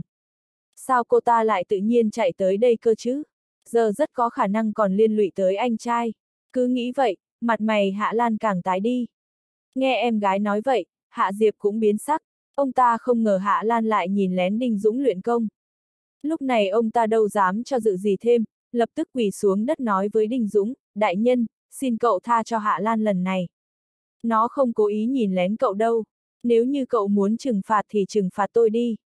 Đinh Dũng cau mày nhìn Hạ Diệp hắng giọng, đứng dậy cả đi, sau này không có sự cho phép của tôi thì không được tới quấy giày tôi. Vâng, đa tạ đại nhân tha mạng, Hạ Diệp nghe vậy thì như được đại xá. Quần áo của Hạ Diệp mồ hôi đầm đìa, lúc này nghe Đinh Dũng nói vậy, ông ta thở vào một hơi, vội xoa ngực, nhìn Đinh Dũng hiếu kỳ, nói, đa, đa tạ đại nhân tha mạng. Lúc này nhận thức của Hạ Lan về Đinh Dũng lại thay đổi một chút. Vị thần trong truyền thuyết hình như cũng không cao cao tại thượng như lời đồn. Hai người tìm tôi có việc gì, Đinh Dũng hít sâu một hơi hỏi. Nghe vậy, Hạ Diệp vội đứng dậy chắp tay, nói, đại nhân, thịt của con gấu trắng đã được mổ xẻ xong xuôi, chúng tôi nấu một phần rồi, mời đại nhân cùng tới thưởng thức. Thịt của gấu trắng, Đinh Dũng thẫn thờ sau đó gật đầu, đi thôi. Bên trong cơ thể con gấu này không hề ngưng tụ kim đan, vậy thì thịt của nó có phải có gì đó khác biệt không? Nghĩ tới đây, Đinh Dũng lại nhanh chóng bước đi, dẫn theo hai người về thôn. Vừa đi vào thôn liền ngửi thấy mùi rất thơm, cả đám người đang bận rộn ở khu trung tâm của ngôi làng. Có người đang canh nồi luộc, cũng có người đang nướng, khắp nơi đều lan tỏa mùi hương nồng đượm. Mùi này thơm thật, Đinh Dũng cảm thấy bất ngờ. Trước đó không phải anh chưa từng ăn thịt gấu nhưng không ngờ thịt con gấu này lại thơm như vậy, chỉ ngửi mùi đã nhỏ dãi rồi. Đại nhân, đây là thịt gấu vừa nướng xong, mời cậu thử ạ. À. Đinh Dũng và hai anh em Hạ Diệp vừa đi tới, Cát Lão lập tức cầm một bát thịt nướng đến, nhiệt tình mời Đinh Dũng. Thấy vậy Đinh Dũng cũng không tỏ ra khách khí. Đinh Dũng lấy một miếng thịt cho vào miệng và chợt dùng mình, cau mày. Thịt con gấu này vừa vào đến miệng đã có một mùi vị nồng sực vào cổ họng, nhưng anh lại không mấy chú ý đến điều này mà chú ý tới luồng linh khí nhạt nhòa tản ra từ miếng thịt. Miếng thịt mang theo linh khí nhạt nhòa cho nên nó ngon hơn rất nhiều so với thịt gấu thông thường. Có điều đó không phải là kim đạt kết tụ trong cơ thể, đây là một hình thức tu hành mới. Ninh Dũng với vẻ mặt thắc mắc đem cái bát đưa lại cho cát lão, cau mày lắc đầu. Thực sự thì anh vẫn nghĩ chưa thông, rốt cục có chuyện gì chứ? Đại nhân, có gì không ổn sao, thấy Đinh Dũng lắc đầu cau mày, cát lão vội hỏi. Thế nhưng Đinh Dũng lại không để ý đến ông ta mà thầm nhủ, kỳ lạ, không phải chứ, có chuyện gì thế nhỉ? Đại nhân đang nói gì vậy, Hạ Diệp cũng cau mày, lấy một miếng thịt cho vào miệng nếm nhưng lại không cảm thấy có gì đó khác thường. Nghe Hạ Diệp nói, Đinh Dũng mới định thần trở lại. Anh kiềm chế mọi suy nghĩ trong lòng, nói con tuyết quái này sao lại xuất hiện, có ai biết tuyết quái và thú vật bình thường có gì khác biệt không? Nó, hình như xuất hiện vài năm trước đây. Chúng tôi cũng không biết rốt cục có chuyện gì, Hạ Diệp lắc đầu, vô thức quay đầu nhìn về phía giá nướng thịt, nói, ngoài cơ thể to hơn, thực lực mạnh hơn nhiều lần so với thú vật bình thường thì không có gì khác biệt. Thịt nó cũng ngon hơn, nói xong, Hạ Diệp lại thêm một câu. Lão Hồ là người tham gia đi săn bắt trước kia, nếu không thì gọi cậu ta tới hỏi xem thế nào, cát lão cung kính nhìn Đinh Dũng. Sao vậy, gọi tôi có chuyện gì sao, ai ngờ Đinh Dũng còn chưa nói gì thì người đàn ông để dâu quai nón đã chủ động đi tới, cười nói hùng hồn. Trước kia không phải cậu từng tham gia săn bắt sao? Nói cho đại nhân biết con gấu trắng này có gì khác thường, thấy người đàn ông để dâu quai nón đi tới, cát lão vội vẫy tay với ông ta. Nghe vậy, ông ta nhìn Đinh Dũng một cái, thấy Đinh Dũng mặt mày nghiêm túc thì trong lòng chợt thấy căng thẳng hơn, hội trả lời, điểm khác biệt hình như không có, chỉ là dị biến, hai, không đúng. Ban đầu khi chúng tôi thấy con gấu này thì hành vi của nó cũng rất kỳ lạ. Hình như nó còn hút thứ gì đó nhưng chúng tôi không thấy rõ. Sau này gặp con gấu này thì chúng tôi mới phát hiện ra thực lực của chúng tôi và nó không cùng đẳng cấp. Nói tới đây, người đàn ông để dâu quai nón mới nhỏ giọng dần. Trước kia ông ta cùng mười mấy người đi săn bắt, chỉ có ông ta sống sót trở về, nguyên nhân cũng bởi con gấu trắng không muốn rời khỏi hang quá xa cho nên mới không tiếp tục đuổi theo ông ta, nếu không thì dựa vào thực lực của người đàn ông để dâu quai nón, căn bản không thể nào thoát khỏi sự truy đuổi của con gấu này được. Hút thứ gì đó, Đinh Dũng cao mày nghĩ một lát, quyết định đi tới hang của con gấu này để làm rõ xem rốt cục có chuyện gì. Thế là anh nhìn sang đám người phía người đàn ông để dâu quai nón, Cao mày nói, hang của nó ở đâu? Cậu, cậu muốn tới hang của nó sao? Hạ Diệp thẫn thờ, vô thức nói, hay là ban ngày hãy đi, tối rồi, bên ngoài thôn rất nguy hiểm, rất có khả năng gặp phải mãnh thú. Nói xong những lời này, Hạ Diệp lại thấy hối hận. Đinh Dũng chỉ cần một tay đã có thể giết con gấu trong chốc lát thì những mãnh thú khác thấy Đinh Dũng mà không bị giết trong chốc lát đã là may mắn lắm rồi. Ông ta vội khoát tay nói, nếu cậu muốn đi thì có thể để lão hồ dẫn cậu đi. Không cần, ông nói cho tôi biết vị trí đại khái ở đâu là được, Đinh Dũng nhìn về lão hồ, lên tiếng nói. Nếu như dẫn theo lão hồ có thể sẽ biết được vị trí chính xác nhưng tốc độ của ông ta quá chậm, Đinh Dũng không muốn lãng phí thêm thời gian ở đây, giải quyết mọi việc ở đây xong xuôi anh còn phải xuất phát đi tìm kim vô đạo. Ở, ở phía đó, đại khái cách đây chừng 3, 40 dặm có một sườn núi nhỏ, lão hồ chỉ về phía tây bắc, trong lòng vẫn còn sợ hãi. Được, tôi biết rồi, Đinh Dũng nhìn về phía tây bắc, không để ý đến đám người nữa, cứ thế đi ra ngoài. 3. 40 dặm đường đi có hơi xa nhưng giờ Đinh Dũng đã bước vào thời kỳ kim đan, không giống với thời kỳ kiến cơ nữa, có rất nhiều thuật pháp đều có thể dùng đến, đặc biệt là những thuật pháp này hòa nhập vào với thánh tâm quyết mà anh tự sáng tạo ra khiến những thuật pháp này giống như được tăng thêm, ngày càng mạnh lên. Thuật pháp mà nữ oa sáng tạo ra xưa kia không ngờ sau khi dung hợp với thánh tâm quyết thì có thể đạt được tốc độ thế này, Đinh Dũng thi triển tung ý đăng thiên bộ. Mặc dù linh lực hao tổn nhiều một chút nhưng tốc độ lại nhanh hơn thấy rõ, trông giống như đi lại thong thả nhưng thực tế thì mỗi bước đi có thể đạt được độ dài mười mấy mét, rút ngắn khoảng cách rất nhiều. Có điều so khả năng rút ngắn khoảng cách mà lục địa thần tiên mới lĩnh hội được thì vẫn kém hơn nhiều. Chỉ ít thì về tốc độ, Đinh Dũng có thể đạt được một bước bằng mười mấy mét đã là giới hạn cực điểm rồi, nhưng sự lúc này lại có thể đạt được mỗi bước bằng 10 dặm, đó là khoảng cách một trời một vực. Đi ra khỏi thôn, Đinh Dũng vẫn duy trì tốc độ đỉnh phong về phía tây bắc mà lão hồ nói và cảm nhận được tiếng gió rít bên tai. Đinh Dũng hít sâu, cảm nhận cảm giác giữa đất trời bao la. Mình lại quay lại vùng đất này rồi, Đinh Dũng thầm nghĩ, trong mắt rõ vẻ kiên định, lần này mình nhất định phải lấy lại những gì đã mất đi. Trong lòng Đinh Dũng chợt có cơn sóng dâng trào. Lần này anh quay lại và đã tu luyện thành công thánh tâm quyết, phối hợp với sức mạnh vô tận trong linh hồn. Chỉ cần anh cố gắng tu luyện thì đạo quả của mấy năm nay sẽ được gom hết vào cơ thể của kiếp này. Kiềm chế mọi suy nghĩ trong lòng, Đinh Dũng rất nhanh chóng đã đi được 3, 40 dặm về bên ngoài thôn. Anh đi một vòng và tìm thấy sườn núi mà lão hồ nói. Vừa tới gần sườn núi, Đinh Dũng đã cảm nhận được luồng sức mạnh kỳ lạ. Anh có vẻ rất nhạy cảm với luồng sức mạnh này, có cảm giác như nó đến từ một hang động nằm bên dưới sườn núi này. Luồng khí tức này chính xác xuất phát từ đây, Đinh Dũng nhắm mắt cảm nhận một hồi mà không nhận ra được mối nguy hiểm nào, và lại anh quả thực đã cảm nhận được luồng khí tức mà con gấu trắng kia để lại.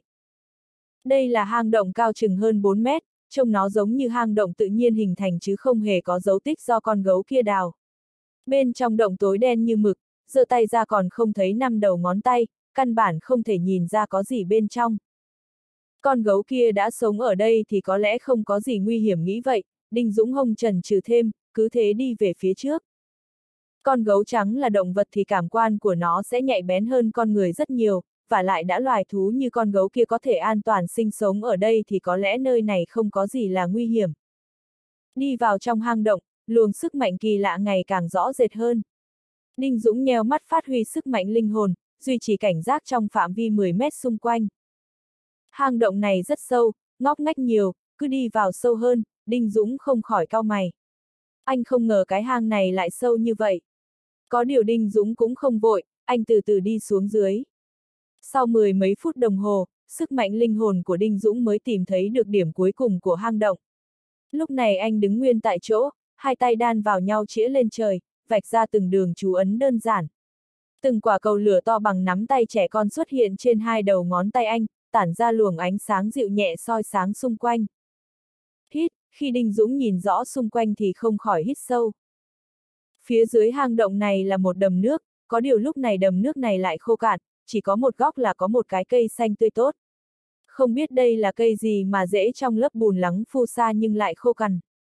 Luồng sức mạnh dị thường kia tản ra từ trên cây này. Cái cây này trông rất bình thường, cao chừng một mét, phân chín chạc, màu lá xanh lục. Dưới ánh sáng của cầu lửa, trông nó lại càng nhỏ bé hơn. Trên cây còn có ba quả, một quả đã bị hái đi, chỉ còn lại cuống hái còn trên cây. Hai quả còn lại, một quả sần sùi có màu đỏ phớt, quả còn lại hãy còn non, bên trên còn cánh hoa màu trắng nhạt đã tàn. Ninh Dũng nhìn mấy quả này hồi lâu mà vẫn không nhận ra được có gì khác thường. Với kinh nghiệm sống hơn 5.000 năm mà anh vẫn không thể nhận ra đây là cây gì. Kỳ lạ, nếu là cái cây này thì rốt cục nó có gì khác thường, vừa nghĩ, Đinh Dũng lại quyết định kiểm tra xem rốt cục cây này có gì thần kỳ. Vậy là anh tìm kiếm trong hang động, hồi lâu mới tìm thấy được con chuột ở phía sâu trong hang. Khi anh bắt con chuột đang không ngừng dãy ruộng kêu chít chít tới phần cuối hang động thì con chuột vốn đang dãy ruộng đột nhiên im bặt lại.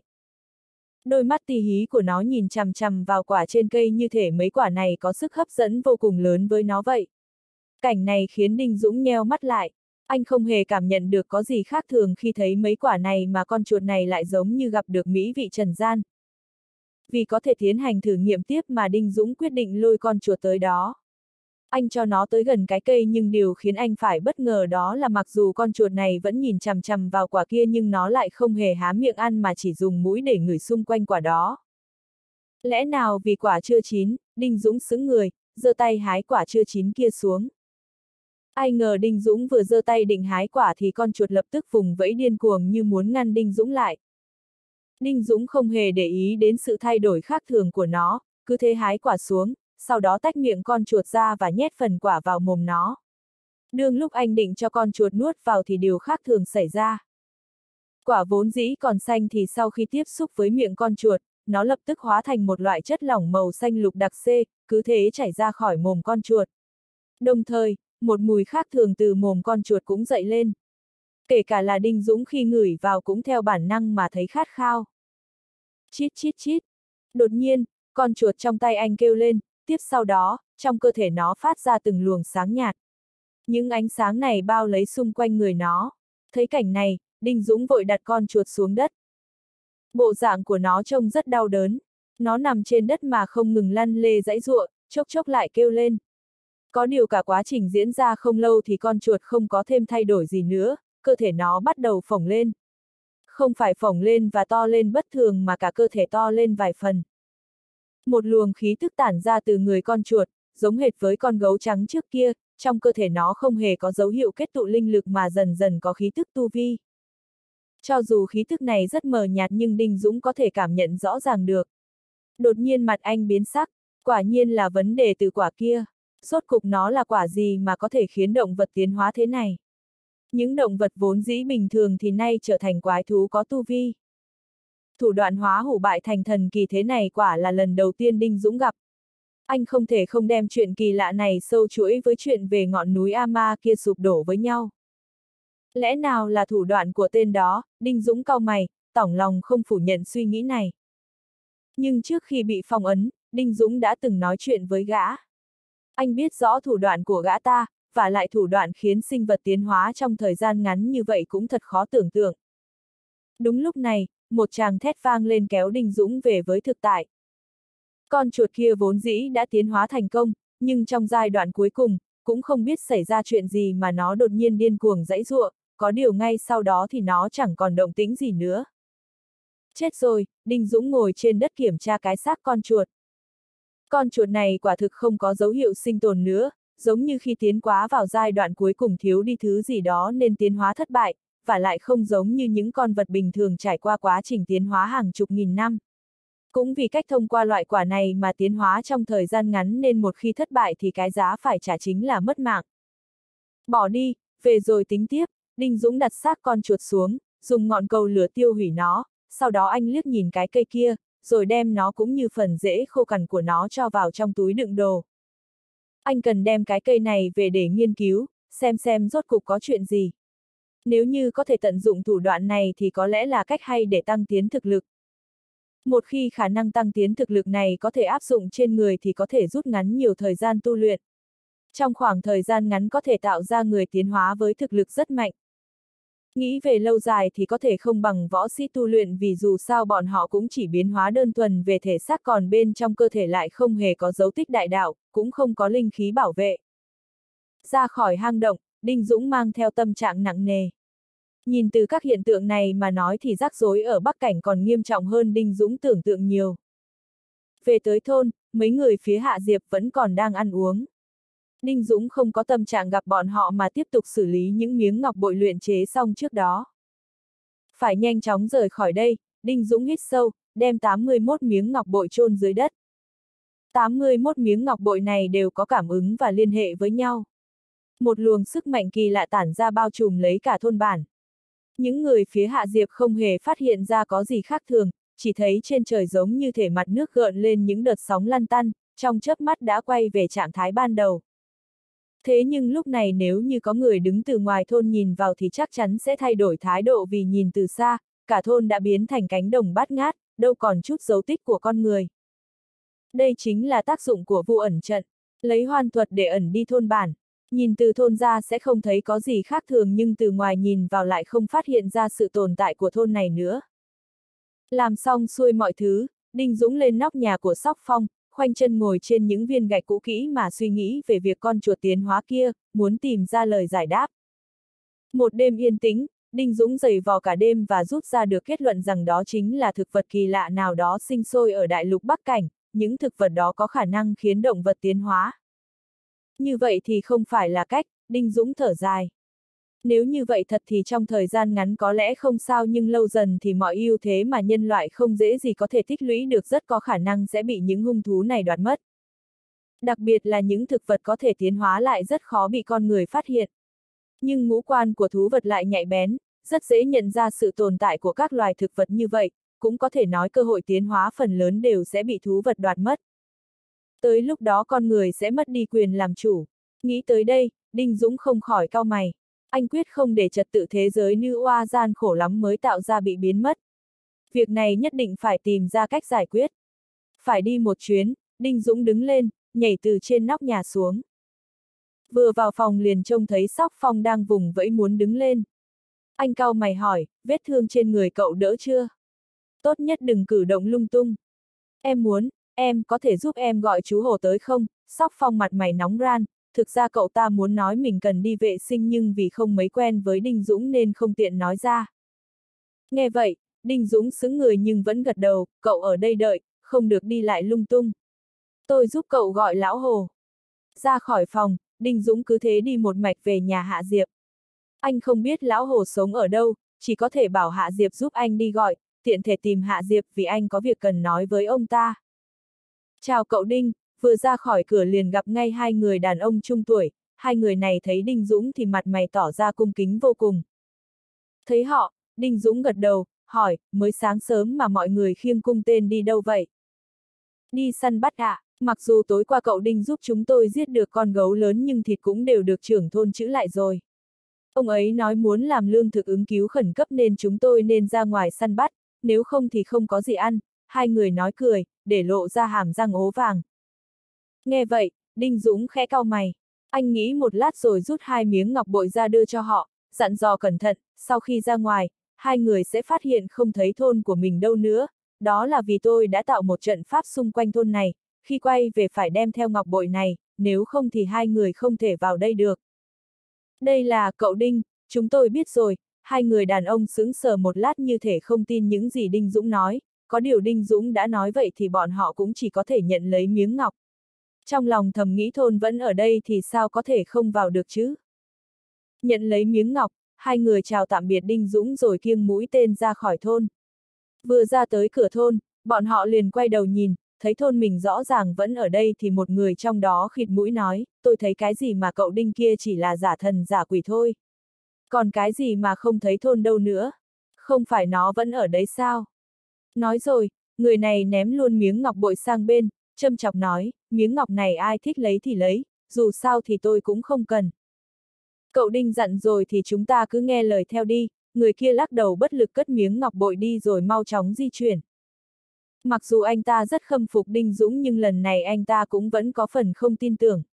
Thôn này đang yên lành như vậy sao có thể vô duyên vô cớ mất tích được. Vừa nghĩ, anh ta lại lần nữa quay đầu lại nhìn thôn bản, xác nhận thôn vẫn ở đó, anh ta không nghĩ gì nữa, chỉ coi như Đinh Dũng đang đùa giỡn với bọn họ. Ở nơi khác, Đinh Dũng đã tới cửa nhà Hạ Diệp. Cốc cốc cốc.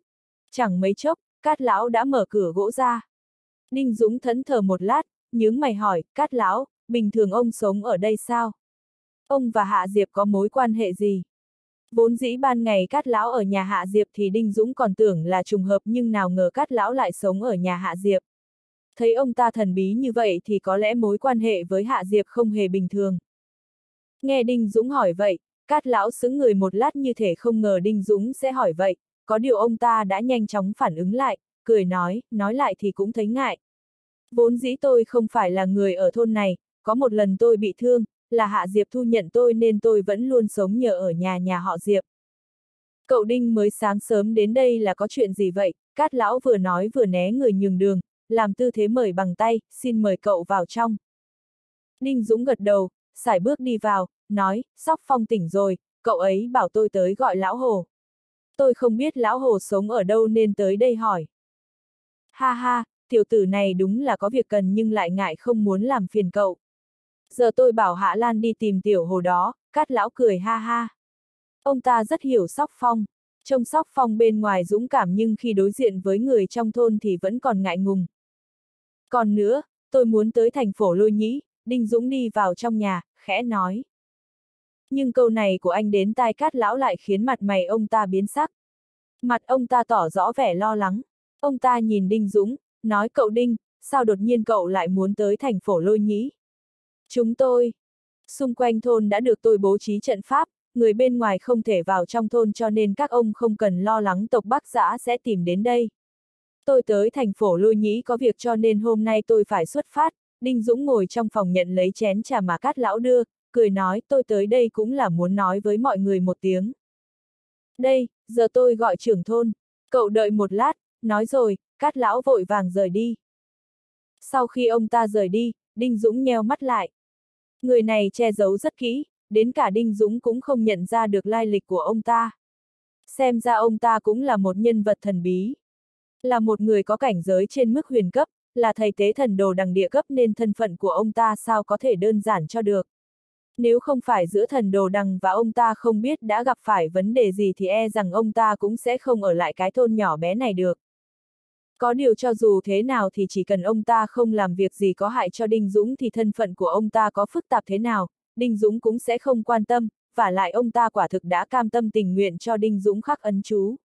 Nếu như muốn lấy mạng ông ta thì chỉ cần niệm chú là xong. Chẳng mấy chốc, Hạ Diệp đã vội vàng đi ra. Vừa vào cửa liền nhìn Đinh Dũng mà hỏi với giọng khổ sở, nghe nói cậu muốn tới thành phố lôi nhĩ. Cậu vừa tới đây mới mới được một ngày trời, chỉ bằng đợi thêm. Không cần phải nói thêm nữa. Tôi tới thành phố lôi nhĩ có việc gấp, Đinh Dũng khoát tay rồi nói lại câu vừa nãy nói với Cát Lão, tôi đã bố trí trận pháp bên ngoài thôn, người thường sẽ không vào đây được. Chỉ cần các ông không tùy tiện ra ngoài thì tộc Bắc Giã sẽ không tìm tới đây được. Nói xong, Đinh Dũng nhìn sang Hạ Diệp, nói tiếp, các ông có hứng thú trở thành người luyện khí không? Thành, thành người luyện khí. Chúng tôi cũng có thể sao, Hạ Diệp xứng người, sau đó mặt mày thay đổi hẳn. Ông ta nhìn Đinh Dũng với vẻ khó tin. Chưa bao giờ ông ta nghĩ tới mình có thể trở thành người luyện khí. Kể cả sau khi gặp Đinh Dũng, ông ta còn cho rằng một người luyện khí như Đinh Dũng vốn dĩ trời sinh đã như vậy chứ không nghĩ tới Đinh Dũng lại nói câu này. Cát lão cũng tỏ ra hưng phấn. Ông ta nghe Đinh Dũng nói vậy thì ánh mắt tỏ rõ vẻ tò mò và nóng lòng, vội gật đầu hỏi tôi muốn trở thành người luyện khí.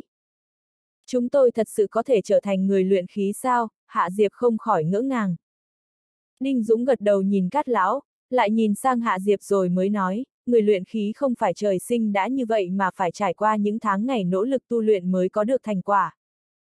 Lát nữa tập trung tất cả mọi người lại, tôi sẽ dựng một phiến đá ngộ đạo ở trung tâm của thôn. Chỉ cần có đủ tư cách có thể trở thành người luyện khí thì có thể lĩnh hội được công pháp tôi để lại bên trong phiến đá này. Nói đơn giản thì người có thể ngộ ra nội dung công pháp bên trong phiến đá thì có thể trở thành người luyện khí. Nói xong, Đinh Dũng nhìn về phía xa, lãnh đạm nói, hai người đi theo tôi. Vâng, cả hai người đưa mắt nhìn nhau và nhìn ra được sự kinh ngạc trong mắt đối phương. Đinh Dũng không nói gì nhiều, cứ thế dẫn hai người vào khu trung tâm của thôn. Anh quan sát xung quanh, chọn một nơi trống rồi lấy trong túi đựng đồ ra một miếng ngọc, sau đó lại lấy ra một phiến đá to đặt trên nền đất trống. Phiến đá này được Đinh Dũng lấy được khi ra ngoài vào tối qua. Mục đích là vì muốn chế tác nó thành đá ngộ đạo. Thực ra đá ngộ đạo giống với ổ cứng di động mang tính cộng hưởng, công pháp đều ở trong này. Chỉ cần có người có thể đoán đúng mật mã thì sẽ có được công pháp trong đó. Dựng phiến đá trên mặt đất, Đinh Dũng hít vào một hơi thật sâu, rút ra miếng ngọc bội rồi nhẩm niệm. Tay anh bấm niệm, sau đó quăng miếng ngọc bội lên trên phiến đá. Miếng ngọc có công pháp sẵn trong đó, lúc này rơi trên phiến đá thì hóa thành một luồng sáng nhập vào trong phiến đá. Công pháp này tên là Thái Dương Hàn Băng Quyết, sau khi tu luyện sẽ khiến khí lạnh trên đời này hóa thành khí mà bản thân mình dùng, một khi luyện thành, sẽ trở thành người có sức mạnh, hiếm có kẻ địch lại được. Đinh Dũng chỉ vào phiến đá rồi nói tiếp, công pháp đều trong đá ngộ đạo này, người có tư cách sẽ giác ngộ được. Đinh Dũng cũng coi như đặt ra một ngưỡng nhất định, duy chỉ có những người có tư cách tu luyện mới có thể sản sinh ra nhận thức về linh khí ở mức sơ khai, cũng chỉ có những người có nhận thức về linh khí mới có thể giác ngộ được công pháp trong phiến đá. Như vậy có thể tránh người thường vì tu luyện công pháp mà hao tổn tâm trí, kết quả mới nhận ra mình căn bản không có đủ tư cách. Một khi phát hiện ra bản thân đã có tư cách thì có thể chuyên tâm tu luyện. Còn nếu phát hiện ra mình không đủ tư cách thì không cần phải tu luyện lãng phí thêm thời gian. Bao giờ cậu xuất phát, nghe Đinh Dũng nói vậy, cả hai người vội gật đầu, trong lòng rất muốn nhanh chóng ngồi trước phiến đá giác ngộ công pháp. Có điều Hạ Diệp vẫn nhẫn nhịn mọi khát vọng trong lòng, nhìn Đinh Dũng lên tiếng, đường đi đến thành phố Lôi Nhĩ xa xôi, cậu có cần người chỉ đường đi cùng không? Thành phố Lôi Nhĩ là một trong hai thành trì lớn ở Bắc Cảnh, khoảng cách từ đây tới đó xa xôi, trong tình trạng không có phương tiện giao thông với đi tốc độ cao thì có muốn đi hơn nửa Bắc Cảnh về phía thành phố Lôi Nhĩ e rằng cũng phải một khoảng thời gian dài. Nếu như không có người dẫn đường thì Đinh Dũng thật sự không dễ tìm được phương hướng. Đã nói tới đây rồi thì Đinh Dũng gật đầu, nếu có thể tìm được người dẫn đường cho tôi thì tốt nhất. Cái này thì dễ, tôi sắp xếp cho cậu, Hạ Diệp lập tức vỗ ngực, thể hiện Đinh Dũng cứ giao việc này cho ông ta. Nhanh chóng nhé, nửa tiếng nữa tôi xuất phát, nói xong Đinh Dũng không để ý tới bọn họ nữa, cứ thế quay người đi về phía nhà Sóc Phong. Anh vẫn còn vài việc muốn nói với Sóc Phong. Về tới nhà Sóc Phong, người đàn ông dâu quai nón và Hạ Lan đang đỡ Sóc Phong ra ngoài. Thấy vậy, Đinh Dũng cau mày, tôi không phải nói cậu không được cử động linh tinh sao? Sao lại ra ngoài này rồi? Là em, là em thấy trong phòng bí bách quá nên bảo mọi người đỡ em ra ngoài, nghe ra giọng trách móc của Đinh Dũng, Sóc Phong vội lè lưỡi nhận hết về mình. Đinh Dũng trợn mắt nhìn hai người phía Hạ Lan, sau đó lại nhìn sang Sóc Phong, thở dài nói, lát nữa tôi sẽ rời khỏi đây. Rời đi, anh đi đâu? Hạ Lan mặt mày tái đi, vội hỏi lại. Đúng vậy, cậu mới tới đây một ngày, sao đã đi vội vã vậy? Chúng tôi còn chưa dẫn cậu đi xem phong cảnh đẹp ở đây, người đàn ông để dâu quai nón nói hùng hồn. đinh Dũng nhìn cả ba người, điềm tĩnh nói, tôi muốn tới thành phố Lôi Nhĩ. Tôi có chút việc cần xử lý.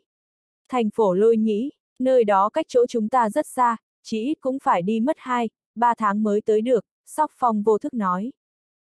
Từ nhỏ cậu ta đã khát khao muốn đến thành phố Lôi Nhĩ một chuyến. Lúc này nghe Đinh Dũng nói vậy nên Sóc Phong không khỏi mong chờ. Nhưng rất nhanh sau đó, ánh mắt cậu ta lại u tối hẳn. Với tình trạng hiện giờ của cậu ta mà bảo Đinh Dũng dẫn theo cậu ta thì gần như là không thể. Sóc Phong gật đầu nói kiên định, rồi sẽ có một ngày em tới được thành phố lôi nhĩ. Trẻ con như cháu tới phổ lôi nhĩ làm gì? Bên ngoài nguy hiểm bùa vây, cháu ở nhà nghỉ ngơi đi, người đàn ông dâu quai nón xoa đầu Sóc Phong nói. Vết thương của cậu vẫn chưa lành, thời gian này không được hoạt động mạnh, nếu không sau khi tôi đi, vết thương có rách ra thì không ai cứu nổi cậu đâu. Cậu vẫn nên ở trong phòng nghỉ ngơi đi, Đinh Dũng dặn dò Sóc Phong xong thì quay về phòng đợi Hạ Diệp dẫn người tới. Nửa tiếng sau, Hạ Diệp dẫn tới một người thanh niên chừng 20 tuổi đi vào nhà Sóc Phong. Cậu Đinh, cậu nhóc này tên là Tư Thần Phi, được mệnh danh là biết thuốc ở vùng chúng tôi. Hạ Diệp đẩy cậu thanh niên kia tới, nói tiếp cậu ta đã đi tới rất nhiều nơi. Mặc dù không quá xa nhưng cũng hiểu biết nhiều. Còn không mau chào cậu Đinh, nói rồi Hạ Diệp vội nói với cậu thanh niên kia. Cậu thanh niên tên Tư Thần Phi trông cũng chưa đầy 20 tuổi nhưng trong ánh mắt cậu ta lại mang theo vẻ tự tin. Em chào anh Đinh, Tư Thần Phi cũng đã thấy Đinh Dũng giết con gấu trắng tối qua. Dù trong lòng cậu ta có tự tin và kiêu ngạo thế nào thì khi đối diện với Đinh Dũng vẫn thể hiện thái độ cung kính vô cùng, mặc dù em chưa từng tới thành phố Lôi Nhĩ nhưng cũng đã đi tới rất nhiều nơi khác nhau, em nghĩ em có thể giúp anh tìm đường. Ừ, Đinh Dũng gật đầu, đứng dậy nói, đi thôi. Giờ đi ạ, à, tư thần phi sững sờ, như không ngờ Đinh Dũng lại quyết đoán như vậy. Có điều cậu ta đã nhanh chóng phản ứng lại, vội gật đầu, nói, vâng, giờ em đi thu dọn hành lý một tí. Anh ở cửa thôn đợi em, Đinh Dũng gật đầu, sau đó nhìn sang Hạ Diệp, hỏi quần áo của tôi đã làm xong cả chưa? Đúng rồi, sao tôi có thể quên chuyện này chứ? Quần áo đã may xong cả rồi, giờ tôi cho người mang tới cho cậu, Hồ Phi vội vỗ đầu, suýt nữa thì ông ta quên mất việc này. Không lâu sau đó, Đinh Dũng thay áo khoác lông làm bằng da gấu trắng lên. Chiếc áo lông này mặc trên người thật sự rất ấm, không hề có khe hở. Sau khi mặc áo lên, Đinh Dũng cho ba lô vào túi đựng đồ, sau đó đem theo một vài túi đựng lương thực mà nông dân ở đây tặng. Trông anh chẳng khác gì người đi săn ở Bắc Cảnh. Khi tới cửa thôn, Tư Thần Phi đã đợi ở đây rồi. Cậu ta cũng đeo một bao nải, trông thấy Đinh Dũng thì vội đứng dậy, cúi đầu cung kính. Nhất định phải bảo vệ anh Đinh an toàn, Hạ Diệp vỗ vai Tư Thần Phi, cũng nhắc nhở cậu ta chú ý an toàn. Ông yên tâm, nghe vậy, Tư Thần Phi vội gật đầu nói. Đinh Dũng không thêm lời gì, cứ thế rời khỏi thôn, khi không còn thấy thôn bản đằng sau, anh cũng không quay đầu lại nhìn. Đây chẳng qua là chỉ là điểm dừng chân của Đinh Dũng mà thôi, không đáng để anh ghi nhớ lưu lại ký ức. Anh phải nhanh chóng tìm ra nhóm người phía Kim Vô Đạo, nghiên cứu tỉ mỉ về những biến đổi khác thường ở Bắc Cảnh. Kim Vô Đạo tới đây trước Đinh Dũng, nhất định hiểu rõ mọi việc ở đây, có thể biết cả những việc mà Đinh Dũng không biết. Hai người cứ thế đi về phía trước, lúc trước vì những con ngựa lông dài kia không nhận chủ cho nên bọn họ không giữ lại con nào, nếu không thì lần này hai người xuất hành cũng không đến mức phải đi bộ. Thời gian cứ thế trôi đi từ ngày này tới ngày khác. Khi hai người rời khỏi thôn được ba ngày thì trời bắt đầu có tuyết rơi. Hỏng rồi, sắp có tuyết rồi, thấy những bông hoa tuyết nhỏ xinh bay trên bầu trời, tư thần phi mặt mày thay đổi, vội tìm Đinh Dũng, nói anh Đinh, không ổn rồi, e rằng sắp thay đổi thời tiết rồi. Vậy chúng ta tìm một điểm dừng chân đã, Đinh Dũng gật đầu, không hiểu ý tư thần phi rốt cục là gì. Thấy Đinh Dũng không hiểu ý mình, tư thần phi vôi giải thích, một khi có tuyết rơi thì chúng ta rất khó có thể dự tính được thời gian đến được thành phố lôi nhĩ. Vì chỉ cần tuyết rơi ở Bắc Cảnh thì rất khó dừng chân, và lại rất có khả năng tuyết rơi trên diện rộng, tới lúc đó tốc độ của chúng ta sẽ chậm đi, và lại đi bộ không phải là lựa chọn sáng suốt, nói tới đây, tâm trạng tư thần phi lại thêm phần nặng nề. Vốn dĩ bọn họ đi bộ, nếu như tuyết rơi dày thêm thì e rằng khó có thể tiếp tục đi bộ, bắt buộc phải nghĩ cách khác. Anh biết rồi, tìm điểm dừng chân đã, Đinh Dũng gật đầu. Anh biết tuyết rơi thì nhất định sẽ gây ra ảnh hưởng không tốt, có điều đã vậy thì chỉ có thể đương đầu thôi. Không lâu sau đó, phía trước xuất hiện một ngôi miếu lâu đời. Thấy ngôi miếu này, tư thần phi lập tức nói, anh Đinh, phía trước có ngôi miếu, hay là đêm nay chúng ta nghỉ ở đây? Được, Đinh Dũng nhìn ngôi miếu cổ tước mặt rồi đi về phía đó. Diện tích ngôi miếu này rất nhỏ, có điều có khả năng vì lâu rồi không được tu sửa nên trông nó có phần xưa cũ, giống như thể chỉ cần cơn gió lớn hay bão tuyết thôi là có thể đổ sập bất cứ lúc nào vậy. Mặc dù ngôi miếu này khá nhỏ nhưng hai người có chỗ nghỉ chân tạm thời một đêm đã là quá tốt rồi. Đợi đã, thế nhưng tư thần phi vừa đi vào trong thì Đinh Dũng đột nhiên dừng bước, nhìn vào bên trong miếu, bên trong có người. Có người, tư thần phi cảnh giác hẳn. Lúc này, tuyết rơi ngày càng nhiều, gió thổi lạnh buốt. Đinh Dũng rụt cổ cau mày nói, bên trong hình như có người, cẩn thận chút. Đúng lúc này, theo thói quen, anh vận sức mạnh linh hồn định thăm dò xem xung quanh có gì đó hay không nhưng không ngờ lại thấy được bên trong miếu có gì đó không ổn. Hai người chậm rãi tới gần miếu, áp sát tường, từ từ vào trong. Trong lán cỏ bên ngoài miếu buộc vài con ngựa lông dài. Ở phía xa còn có vài cỗ xe ngựa và cả đám người đang hào hứng nướng thịt, uống rượu bên trong miếu. Vừa lại gần miếu liền ngửi thấy mùi thơm từ trong ngôi miếu, tư thần phi nuốt bọt. Cả đoạn đường đi, hai người vẫn luôn ăn lương thực khô, lúc này ngửi thấy mùi thơm, làm sao chịu cho nổi. Hình như là đội thương nhân, chúng ta có thể vào đó cùng bọn họ, tư thần phi đứng ở cửa, nhìn vào trong, thấy nào ngựa nào xe ở bên ngoài đều in những ký hiệu đặc biệt. Đi thôi, vào trong xem xem, Đinh Dũng hít sâu, dẫn tư thần phi đi vào. Bên trong ngôi miếu cũng có mười mấy người đang ngồi, tất cả đều đang mặc đồ giống nhau, trên ngực còn in dấu giống với dấu trên xe ngựa. Bọn họ đang khoanh chân ngồi dưới đất nướng thịt, uống rượu. Ai, cảm nhận được sự xuất hiện của Đinh Dũng và Tư Thần Phi, người đàn ông ngồi gần cửa lập tức đứng dậy, mặt mày tỏ vẻ cảnh giác. Người đàn ông đứng đầu nhìn hai người phía Đinh Dũng chằm chằm, chỉ sợ Đinh Dũng và Tư Thần Phi lại là người xấu nào đó. Xin dừng bước, thấy Đinh Dũng vẫn đi về phía trước, một người đàn ông trong đó hắng giọng, tay sờ vào con dao ở hông, hai người là ai? Những người này đều mang dao theo người, người nào người nấy mặt mày cảnh giác nhìn Đinh Dũng và Tư Thần Phi. Bọn họ phản ứng rất kịch liệt nhưng sau khi phát hiện ra Đinh Dũng và Tư Thần Phi thì mới thở phào. Các vị đại ca, chúng em đi qua đây, xin vào tránh gió tuyết, Tư Thần Phi nhìn đám người mà rụt cổ, cười nói. Nghe Tư Thần Phi nói vậy, mười mấy người thở phào, vội đưa mắt nhìn sang phía một người đàn ông trung tuổi trong số đó, đại ca, phải làm sao? Hai cậu là người ở đâu? Người đàn ông trung tuổi kia mặt tối sầm lại, vẻ mặt nghiêm nghị nhìn chằm chằm Đinh Dũng và Tư Thần Phi. Chúng em là người trong một thôn nhỏ cách đây trăm dặm. Chúng em muốn tới thành phố lôi nhĩ để mở mang tầm mắt, Tư Thần Phi cười tự nhiên, vừa nói vừa đi vào, không ngờ tuyết hôm nay lớn quá, chúng em định ở đây tạm thời qua đêm nay, không ngờ lại gặp được cái vị đại ca đây. Xin các đại ca tạo điều kiện để bọn em có thể nghỉ ngơi ở miếu này một đêm, nói rồi, tư thần phi rút ra một túi đựng cũ kỹ nói, đây là rượu mà em mang từ nhà tới đây, mời các anh nếm thử. Có tí này thôi à, người đàn ông trung tuổi nghiêm mặt, tỏ vẻ chê cười. Anh ta nhận lấy túi đựng từ trong tay tư thần phi, ngửa cổ uống một ngụm rồi giơ ngón tay cái lên, tán thưởng, ngon lắm, rượu ngon, có lẽ là rượu địa qua chứ danh. Vừa nghe tên rượu địa qua, những người khác mặt mày vốn dĩ còn tỏ ra cảnh giác thì lúc này dịu mặt hẳn lại. Một người trong đó còn cười nói, nào, để tôi nếm xem rượu địa qua có vị thế nào.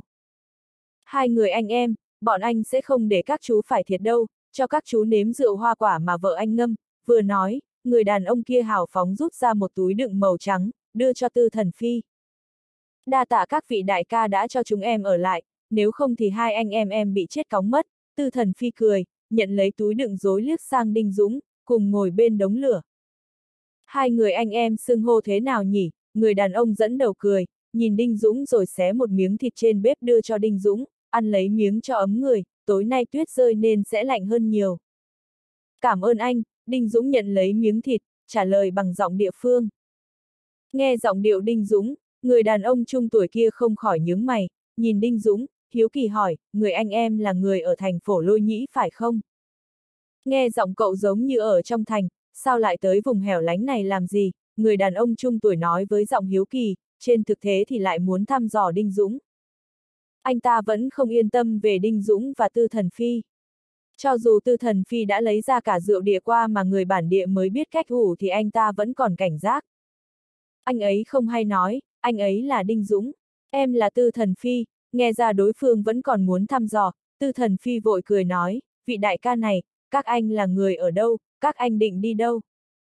Chúng tôi là người của đội thương nhân Lạc Gia. Vừa từ thành La Tát về nên cũng phải tới thành phổ Lôi Nhĩ, không đợi người đàn ông trung tuổi lên tiếng, người đàn ông trước đó đổi rượu với Tư Thần Phi đã lên tiếng. Thấy người cùng đội nói ra thân phận của mình, người đàn ông trung tuổi dẫn đầu kia mặt mày thay đổi hẳn. Anh ta nhìn ngay sang Đinh Dũng, quan sát tỉ mỉ, muốn tìm ra sự khác thường từ Đinh Dũng. Có điều lần này anh ta lại phải thất vọng rồi. Từ đầu tới cuối, ánh mắt Đinh Dũng vẫn không có gì thay đổi. Kể cả sau khi biết bọn họ là đội thương nhân thì anh vẫn không hề tỏ ra hứng thú.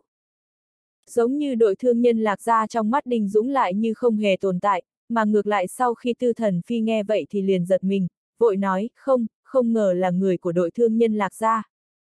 Trên thực tế thì đội thương nhân lạc gia không phải đội thương nhân gì nổi tiếng. Tư thần phi còn chưa nghe nói tới bao giờ nhưng cậu ta biết một điều kiêng kỵ rằng không được đi đi cùng đội thương nhân trở về, vì phần lớn đội thương nhân trở về đều đã bán xong đồ, đem theo lượng lớn vàng bạc quay về. Nếu như đi cùng bọn họ thì rất dễ gặp phải nguy hiểm. Con đường đầy nguy hiểm và chắc trở, chỉ dựa vào hai người, không biết phải đi đến bao giờ mới tới. Nếu không ngại thì có thể đi cùng đội chúng tôi, như vậy trên đường cũng tiện chăm sóc lẫn nhau, thấy hai người mặt mày thay đổi, thủ lĩnh đội thương nhân cười, nhìn Đinh Dũng nói ý. Nếu như được vậy thì đương nhiên là, tư thần phi vô thức lên tiếng đồng ý nhưng vừa nói được nửa lời cậu ta mới nhớ ra lần này phải nghe theo Đinh Dũng sắp xếp nên đành nhìn sang Đinh Dũng với ánh mắt hượng gạo. Cảm nhận được ánh mắt của tư thần phi, Đinh Dũng cau mày, quay đầu nhìn thủ lĩnh đội thương nhân, hỏi từ đây tới thành phố lôi nhĩ khoảng bao xa ạ? Ha ha, hai người cũng không cần phải vội đồng ý. Tối nay cứ nghĩ đã, sáng mai đưa ra quyết định cũng không muộn, thủ lĩnh đội thương nhân bật cười, sau đó nghĩ một lát rồi nói, từ đây còn cách thành phổ lôi nhĩ chừng hơn 3.000 km. Theo như tốc độ hiện giờ của chúng tôi thì chỉ ít cũng phải mất nửa tháng mới tới nơi. Hơn 3.000 km, Đinh Dũng thầm nhủ. Anh đột nhiên cảm thấy có phần hối hận khi dẫn theo tư thần phi. Nếu Đinh Dũng dốc hết sức di chuyển thì chỉ cần 5 ngày là có thể tới tơi. Bây giờ nếu như đi cùng tư thần phi thì không biết phải đi tới bao giờ mới tới nơi. hai Nghĩ tới đây, Đinh Dũng thở dài bất lực, dùng giọng bản địa nói, em và thần phi mà đi bộ thì không biết bao giờ mới tới nơi. Nếu các anh không ngại thì có thể cho hai anh em em đi cùng được không? Được vậy thì em cảm ơn các anh lắm. Chú khách sáo quá, vừa hay chúng tôi còn chống vài cỗ xe ngựa, ngày mai hai chú cứ xuất phát cùng chúng tôi. Nghe vậy, người thủ lĩnh kia khoát tay nói với Đinh Dũng nhưng trong ánh mắt lại rõ vẻ hoang mang. Có điều anh ta đã nhanh chóng định thần lại, cười nói, anh tên là Trần Phong, là người dẫn đội thương nhân lạc ra. Nơi này cách thành phố lôi nhĩ còn xa, trên đường nhiều nguy hiểm, hy vọng hai chú cẩn thận một chút. Nói ra thì hai chú cũng may là gặp được bọn tôi đây, nếu không thì trên đường đi e rằng rất khó khăn vất vả, và lại bây giờ bên ngoài tuyết quái di chuyển, thực lực không đủ thì rất khó đi lại bên ngoài, nói tới đây, Trần Phong vỗ vai hai người bọn họ. Audio điện tử võ tấn bền. Hết tập 15